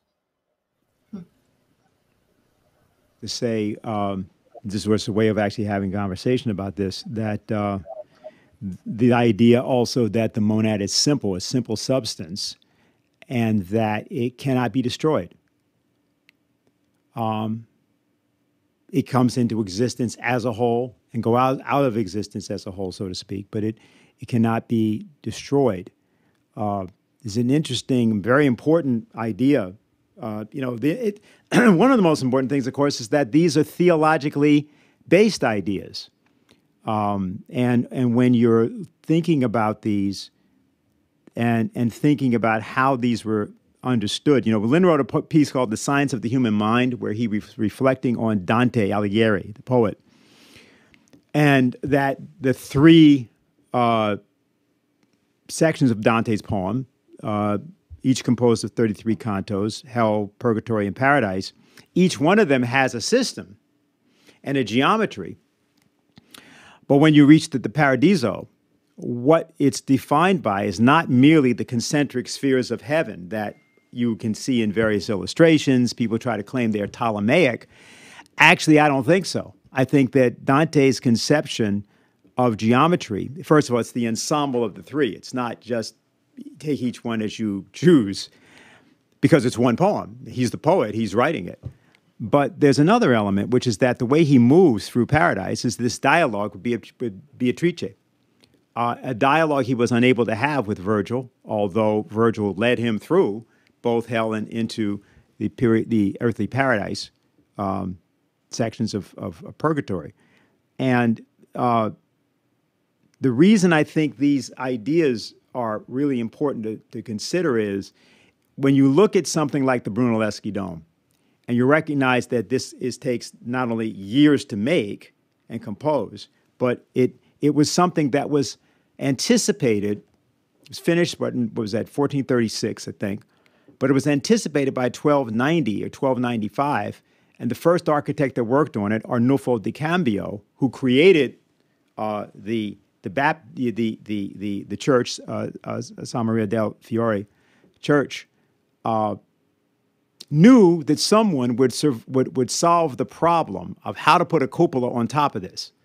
It was, it, it was, it was a great problem that he left to be solved, but he had every confidence that the mind that would come would solve it. So he was in dialogue with a mind that he could never know, but whose nature he knew before it existed. And I think that these are the, the these these ideas and getting into this kind of a discussion at this time with people as they are plunged into the most moronic kind of uh, I loved, by the way, Jacques, your image of the clowns in the slaughterhouse. I cannot get that image out of my mind. Uh, I want to thank you for that image. It's it's a great one because it's it's a it's very helpful in just allowing us to see the difference between these minds we're talking about, the time we seem to be in, but also the fact that this can be changed by us. You know, as as Paul said, in in a moment, in a twinkling of an eye. Because when you look at China, Russia, you look at, as was said already, Asia, Africa, and you look at people in the in these our own countries that want to do something different. It's clear that the pot- potential to do that is there, as Leibniz said. This is the best of all possible worlds, and so the issue is making that possible reality. I, I think this is. Uh, you know, this whole idea of, of, of that's how you, where you get mental health. That's the way we're going to establish the ability to become sane again. Hmm. All right, let me uh, pose a, a question that came in for you, Helga, from Cedric. He says uh, about Asian culture. He says, What Helga says about Asian optimism is very true, but the mass culture of K pop, mangas, anime, video games from South Korea and Japan is flooding our youth in the West. How do we outflank that? Well, I think concerning Asian culture, um, I agree that the Pokemon also came from Asia. I, I forgot Japan maybe or South Korea. Um, and Pokemon, I I think was the get in get into drug for the vi- violent video games, and um, so I agree. But you know that is not really um, Asian culture. I think Asian culture I mean, have you ever seen the beauty of Chinese calligraphy, Chinese paintings, uh, literati painting, where uh, painting, poetry, and calligraphy are in one? And in order to understand the meaning of the piece of art, you have to know all three of them because, you know, it is the metaphor resulting out of the three together. Or, you know, take the beauty of uh, Asian poetry um, the wisdom of i mean I, you know I, I i made a speech i think 20 years ago why americans should go there talking to the uh, ancient silk road.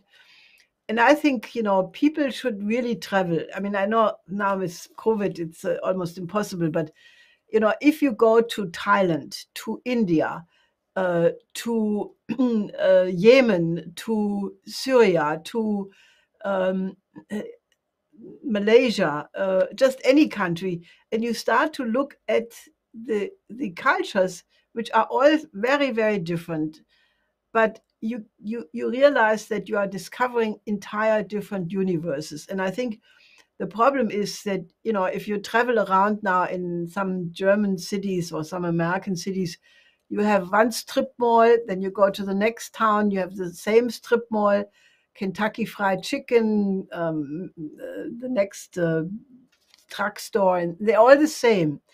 And I think, you know, that is why I discussed with James Bevel, who I once took to my hometown, Trier. Um, and he got completely silent. And so I asked him, Why are you not speaking anymore? And he said, Well, I go back and talk to the mayor of Washington, and we have to build new cities which are using beautiful architecture. And I think that that is really why, you know, people have to. I mean, okay, if you want to talk about it in religious terms, there must be a reason why God has created different cultures. Or, you know, if you're not religious, you can say, why is the universe composed in such a ways that different cultures emerge? Um, I think it's the unity in diverse or the diversity in unity and the absolute richness of human creativity to to to uh, I mean if you go to architecture in in India uh, even if these were Maharaja um, palaces they're using this architecture now to build modern mayor house uh, city council house and it's beautiful I think there is a reason why the human mind is capable of producing so many different beautiful things. However, if they are on a classical standard, they are united by universal principles.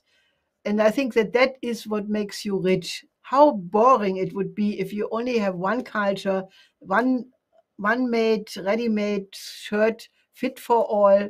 You know, I mean, I think people have to have the experience of this. Go to Italy. I mean, Italy has 85% of all uh, cultural goods classified by UNESCO uh, to be that. 85% in Italy alone. Do you know any of those? Well, maybe some. Anyway, all I'm saying is the human the human species has produced so beautiful things, but they're so different and you only recognize you know the richness when you know at least a good portion of them. So i can only you can go to a museum you can virtually now visit uh, exhibitions. I mean there are so many ways how you can enter that and develop a curiosity about other cultures. I think this is the most healthy thing you can do you know not to get stuck in your one one jimmy one note or whatever this expression is Thank you. Um, yes, Jacques. Actually, let me, let me just add one one yes. clarification that Cedric added on the chat. It's hard to get things across on YouTube. Cedric just says, to be more concrete, he deals with many young people who are deep in that culture that he had mentioned, and most of them are faced with depression or suicidal ideas. And he's coming at this not from dissing Asian culture, but from working with young people who are affected by this. Go, go ahead, Jacques. Yeah, yeah, but that's what I'm but that's what I try to say. He should introduce them to the beautiful side and not to manga and these kinds of things in order to get the, the difference across. Hmm. He, he also just makes mangas because they are so ridiculous and so repetitive. So, no, what I wanted to, to add is that Jean Bodin in the Six Books of the Republic says that the true uh, this was in the middle of the French religious wars. He says that the true uh, state statesman, statesman, and the true statesman in his case, has to compose the harmony of the dissonances. So he meant that if there were not dissonances, the universe would be a frozen universe of Aristotle's, and there would be no creation. And if the dissonances prevail, over everything, they would destroy the universe. So the composer, the political composer, should be inspired by the musicians and compose a political uh, a, a, society, a political society, where he would make these, these dissonances coincide at a higher level and create the music of the state. So I think it's a very beautiful way to make the connection between art, music, and also science, because what he said is that if you don't develop agriculture at the time manufacture, uh, you can't be believed, you can't be followed. Okay. Uh, in view of the time and the participation of two of our esteemed panelists from European time, I think we, we're going to move towards concluding remarks and, and wrapping up. So we're going to come back through everybody one more time for your thoughts, and we will start with Anastasia. Hi, I was just thinking about a few of the um, the questions that have come up and also just some of the stuff we run into in general about the problem with the youth culture. Because um, I think this issue with depression and suicidal thoughts is, is very prevalent. I mean, there's there's been official studies that have come out that say, you know, 25% of youth have some kind of psychological trauma, uh, uh, trauma or problems like depression. I honestly feel that it's a lot more than that. Um, and looking at, you know, just the intention of what you you see in in popular culture, just looking at manga, for instance, um, they are actually trying to make you crazy by creating these repetitive um, these repetitive thoughts this you know you have to try your hardest. And i mean i used to watch some of this stuff honestly when i was a kid because it was very popular. Pokemon was very popular. Um, but it's just this like triumph of the of the will of the of the greatest and this kind of thing. And we really have got to you know get out of this brainwashing. That, that's really what this culture has been has been a, a brainwashing operation to create cognitive dissonance and prevent you from being able to think. And how do we do that? We do that through this classical composition. We do that through uh, working on classical art classical music um, and this uh, cl- classical science working on science. Um, i really want everybody here to you know to pick up something, pick up a, a, project, um, whether it's a, a, paper from Schiller, uh, something that you know Megan was bringing up with Kepler, uh, looking at the harmonies. Uh, just pick up something and make it your mission this week to uh, to figure it out, and then try to present it to somebody else. And I can really, I can guarantee you that you're going to feel so much better by the end of the week uh, just given all the stuff that comes at you. But you'll you'll really notice the difference. So uh, I'd like to to leave it at that. Hmm. Uh, Megan. Sure. Just one before I get to my concluding thought. Just one comment. Um, Jacques, I don't know if you know, but Kepler read Jean, de, Jean Bodin, and he actually quotes him in his Harmony of the Worlds in Book Three on music too try to get across what what is this universal principle of harmony and, and how could we I just think it speaks to Kepler's quality of mind and what he saw himself, um, the effect he wanted to have on society as a whole, that we can bring this principle of harmony into social relations, into government, into society. So, bit of a side comment. But I just, I don't really have much to say by way of a concluding statement. I just want to encourage everybody to read LaRouche. He's, LaRouche is the most profound thinker on the subject of many topics, but specifically the human mind. What is human creativity? Um, I think Lyn, through his own creative thought, but also through his great friendship with some of these incredible thinkers throughout history Leibniz, Gauss, Riemann, so many others, so many others. I think Lyn uh, was able to develop the most advanced notion of what the creative principle in this universe is. So I want to encourage everybody to to read LaRouche, go to the LaRouche library, um, get the, the volumes of Lyn's collected works and begin digging in and studying these things. Okay. Then let's, uh, for the final three here, let's go to Jacques, uh, Dennis, and Helga. So, Jacques, go ahead. I mentioned uh, a poem from Lazare Carnot he was not one of the best French poets. And since the 17th century, there are very few French poets that are half good. But it was, and it is, it was, and it is the intention of Carnot that is has to be seen as, as, as something really useful in his times uh, that would he was thinking how with means he had to create this blossoming of great souls not for themselves but for the common good the common good of all so uh, i think that all of us and in particular when you are young and you are you feel like you you, you, you have to be creative. Write poems, even if they are not perfect ones, as Carnot wrote in the shadow of Schiller, Keats, or others. Shakespeare.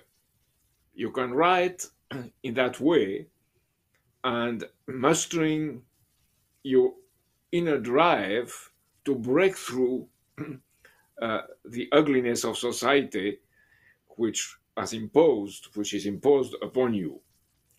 and it would unleash in yourself some unexpected things, much, much more than you would expect at the beginning. And at the end, you would discover what Larouche's call laughter, music, and creativity.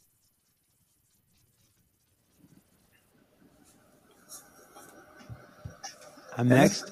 Okay. Well, you're next. Okay. I've been here, sitting here, trying to figure something out. Now, according to what I figure out, if you could solve the problem of traveling at the speed of light, let's be more ambitious and say you could go 50 light years an hour. If you did that over 24 hours, that's 1,200 light years a day, 438,000 light years a year. Now, we're trying to get to IC 1101, which is a billion light years away. And if my calculations are right, we can do that in 245 years, traveling at 50 light years uh, an hour. Uh, this seems to illustrate that whatever we think about the limitations of the universe, we have a lot of work to do before we can explore much of it. Uh, and I want to, having said that, put that to the side and try to say something here about the uh, the true revolution uh, that Leibniz and his friends and his ancestors uh, and descendants uh, really talk about in terms of this being the best of all possible worlds. I mean, we can sit here and actually discuss something like this, despite the fact that clearly none of us are going to see anything like uh, the kind of revolution that would allow us to actually ever visit these places. Yeah, but except they're in our mind. And that is the amazing fact about the human mind, which is not the brain. That's something to tell to several of the people who are out here these days as the major scientific thinkers of our time. Um, but but there's a, a level in terms of the Amer- of the revolutionary process that uh, I just wanted to reference because Helga wrote a, a, piece. I think it was in 1980. Actually, she delivered this speech uh, on the idea of Gandhi's vision for a new world paradigm um, and the idea of the World Health Program and the notion of direct, nonviolent direct action. Uh, and, and, and the idea that what Gandhi, what Dr. Martin Luther King, and others were doing was taking something that had happened, which was successful with the American Revolution, and raising it to an entirely different level. Because the problem, of course, in the American Revolution or many of the other revolutions that came subsequently is bloodshed. The problem is that they had to be, they were violent. Uh, the defense of humanity in the case of the Second World War was necessary 100 million people died in the course of it. There's a better way to do things. Uh, and what has been proposed by the Schiller Institute and which Helga initiated uh, through the series set of conferences, including this one, was that we force a deliberative process among all of humanity um, to resolve this problem of the most fundamental far reaching changes in our planet's history without violence. Now, although, of course, people might think it's more possible to get to IC 1101 than to solve that problem, it would seem to really not be as daunting. And, and I think uh, it's a different order problem in one sense, but it could be the case that we could decide to work together as a human race to do this because there's so much that has been done by so many uh, to bring us to this point, And it seems to me that anybody who's young, uh, hearing what we're talking about here today, can would just could become excited about the prospect that maybe you are the person that, like Mandela, like Gandhi, like King, changed the world in ways that are are, are permanent. Um, and, and, and that's what this movement is about. That's what we mean by the idea of, of revolution and, and change.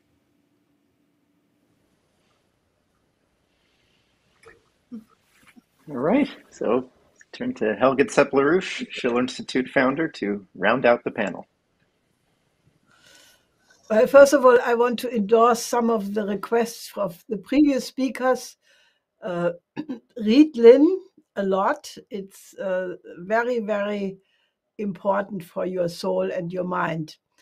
Then write poems, absolutely important because it forces your mind to not think in terms of prose, not to, to you can't be if you write a good poem, you can't be deductive or you know too flat uh, flat earth kind of thinking you have to think in terms of metaphor otherwise it's not a good poem then lastly i was recently at a space conference and i had some really wonderful discussions with some of the uh, organizers um, and they had one big concern they said we have to get across to people about space we have to go out there because once you are out there, everything will have a different perspective. And naturally, our great friend, the German American rocket scientist Krafft Ehricke, with his notion of the extraterrestrial imperative, had the same idea that once man is in space,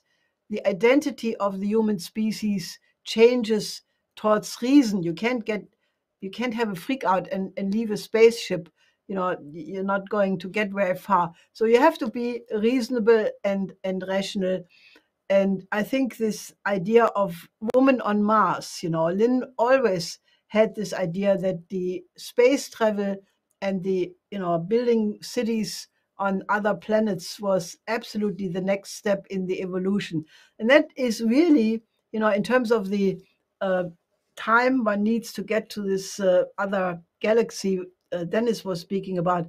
It's sort of like uh, the person who started to build the uh, church, the cathedral in Florence, not knowing how the cupola would be put together with the catenary uh, approach, but you know, building it in the confidence that this would happen. And in the same way, we have to now make sure that the human species will be the immortal species by surviving you know, when the sun goes uh, in in a turmoil and we cannot really live on Earth anymore, we better have colonies on other stars and other planets. Um, so we have to be confident that we will solve a lot of these problems because it is in the human nature uh, to to be uh, creative. And finally, you know, to bring it back on Earth. Um, I think we are in a very exciting period because these countries of the non-aligned movement who are now on the march and again i can only encourage you to follow that very closely because this is right now where the revolutionary momentum is taking place they are determined to end colonialism forever. And i think that that is really the unfulfilled promise of the american revolution. And the more people we can get to understand that the developing countries have all the rights we have, you know, that to end colonialism in its modern form, you know, and do that with the spirit of Mahatma Gandhi, with the spirit of nonviolence. Um, and this is not just not using uh, not force or not being not violent, but it means, you know, to get your mind pure. I mean, Gandhi had a whole bunch of efforts and exercises how he would make sure that not even a slightest violent thought would enter your mind and i think that that is something you know you should take your mind as serious as the food you eat or more important and the more you start to work on your own identity in this way the more you will approach Nicolaus of Cues who talked about the sweetness of truth. Uh, and he said, once you discover the sweetness of truth, it will be more sweet than any food, any beautiful thing you can imagine to eat or drink, because the sweetness of truth is the highest sweetness you can accomplish. So I think there is a lot to be conquered and uh, all the reason for optimism. And I think if you know somebody who is depressed, you know, your colleague or your friend, take him by the hand and show him what is there. And when you do something for another human being like that, it makes your own soul healthy as well. So, in this spirit, let's build a revolutionary movement to make a better world. Hmm. Helga Zepp-LaRouche, Dennis Speed, Megan Dobrodt, Jacques Cheminade, Anastasia Battle. Thank you all. Thank everyone who joined us on this two day Schiller Institute conference, which is uh, coming on a week of major activities, recollections, celebrations, and initiatives of the LaRouche movement, and uh, look forward to our work together. So, thank you all.